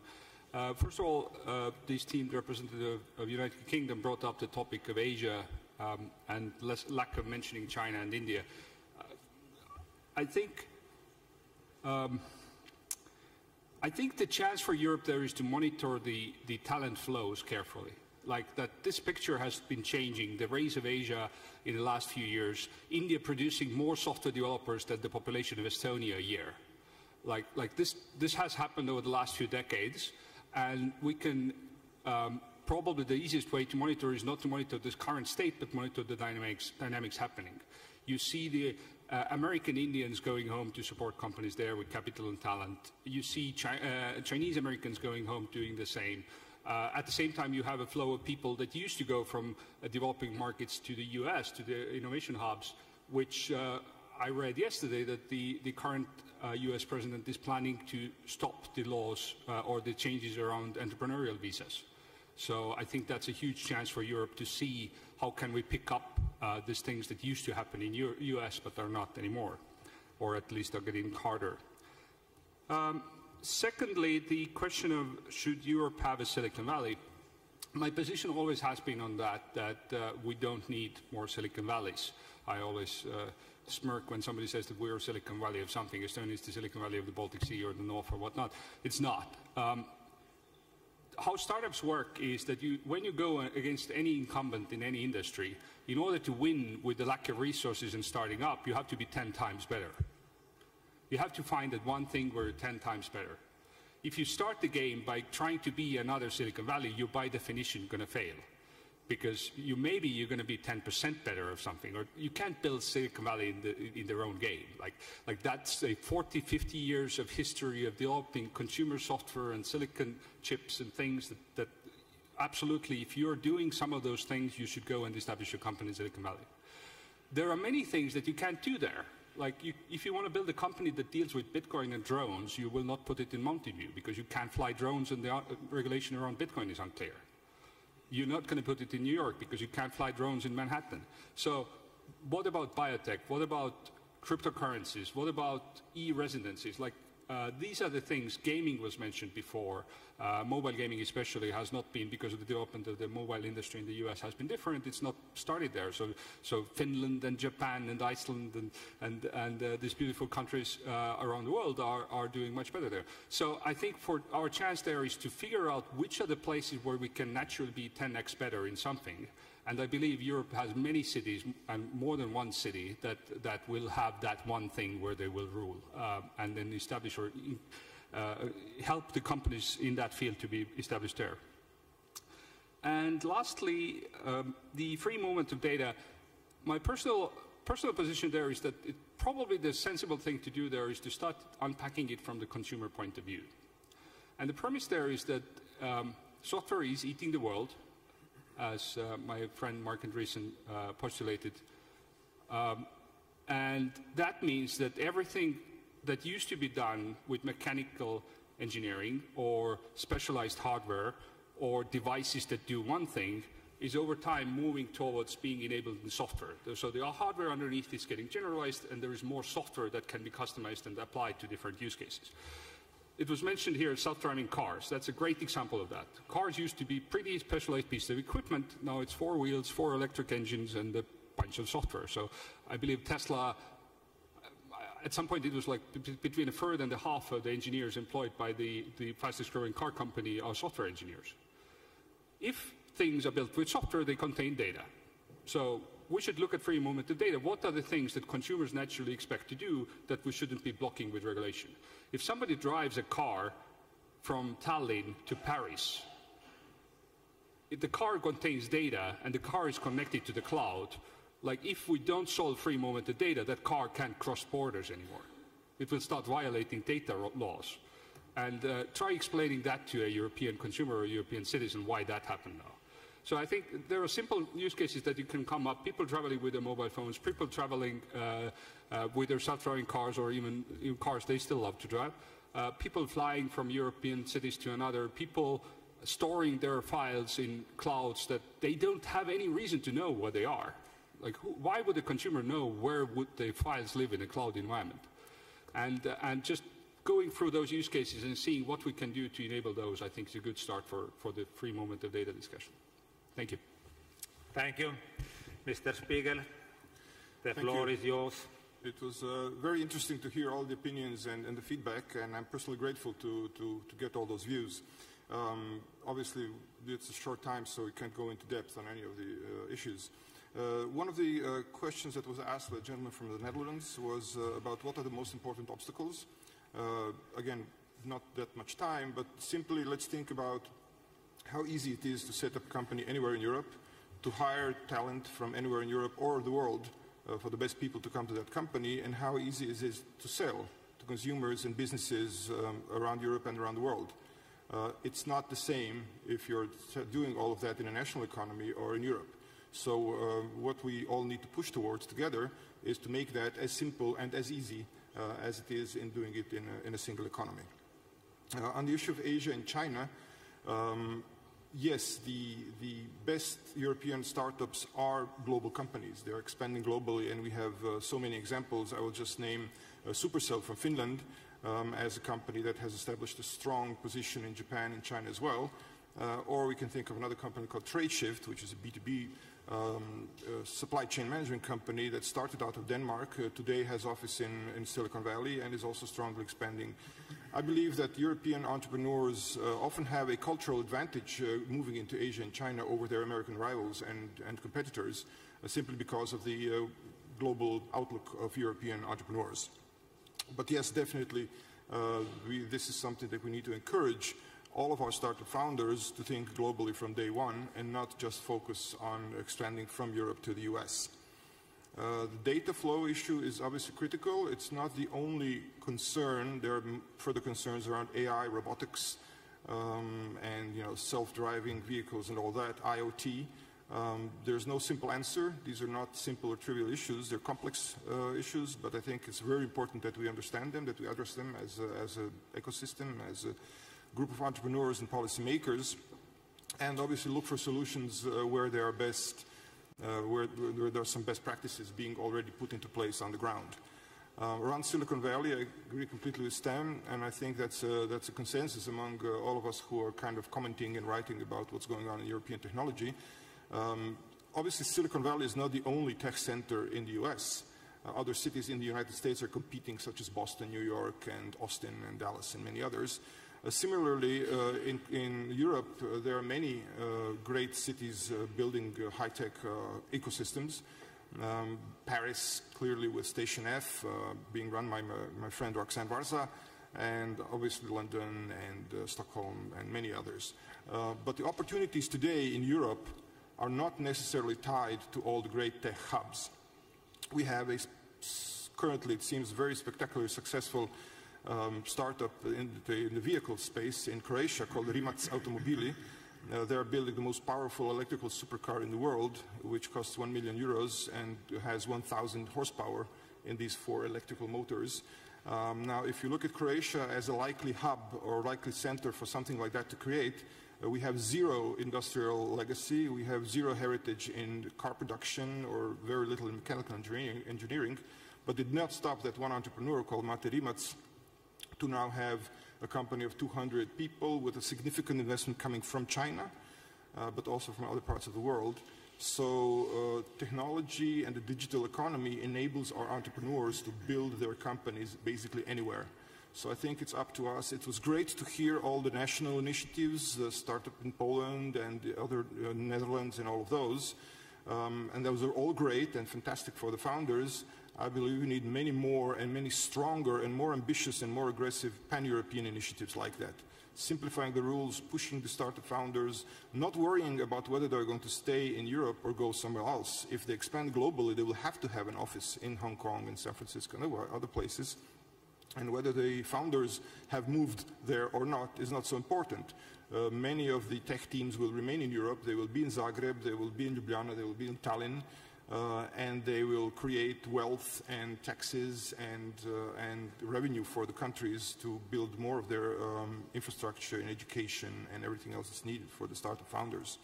So, um, so yes, uh, do we need to win in China? We definitely do. Uh, do we need to consider very carefully all the controversial issues? Yes, we do.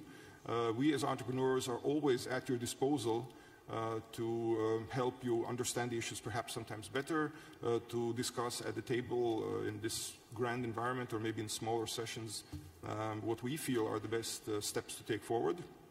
So as I said before, I'm very much looking forward to basically continue discussion um, around all these topics throughout Europe. Thank you, distinguished speakers and colleagues, for for a very fruitful and uh, interesting discussion. I think it's very important to take full advantage from this unused potential in the field of startups.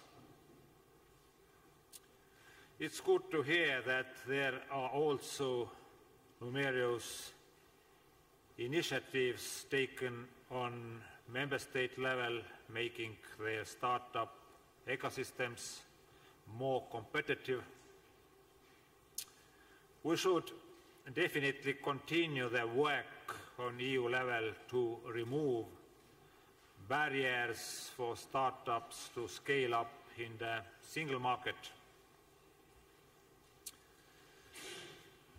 Dear colleagues, ladies and gentlemen, I would like to thank you all for attending the meeting and for your active participation.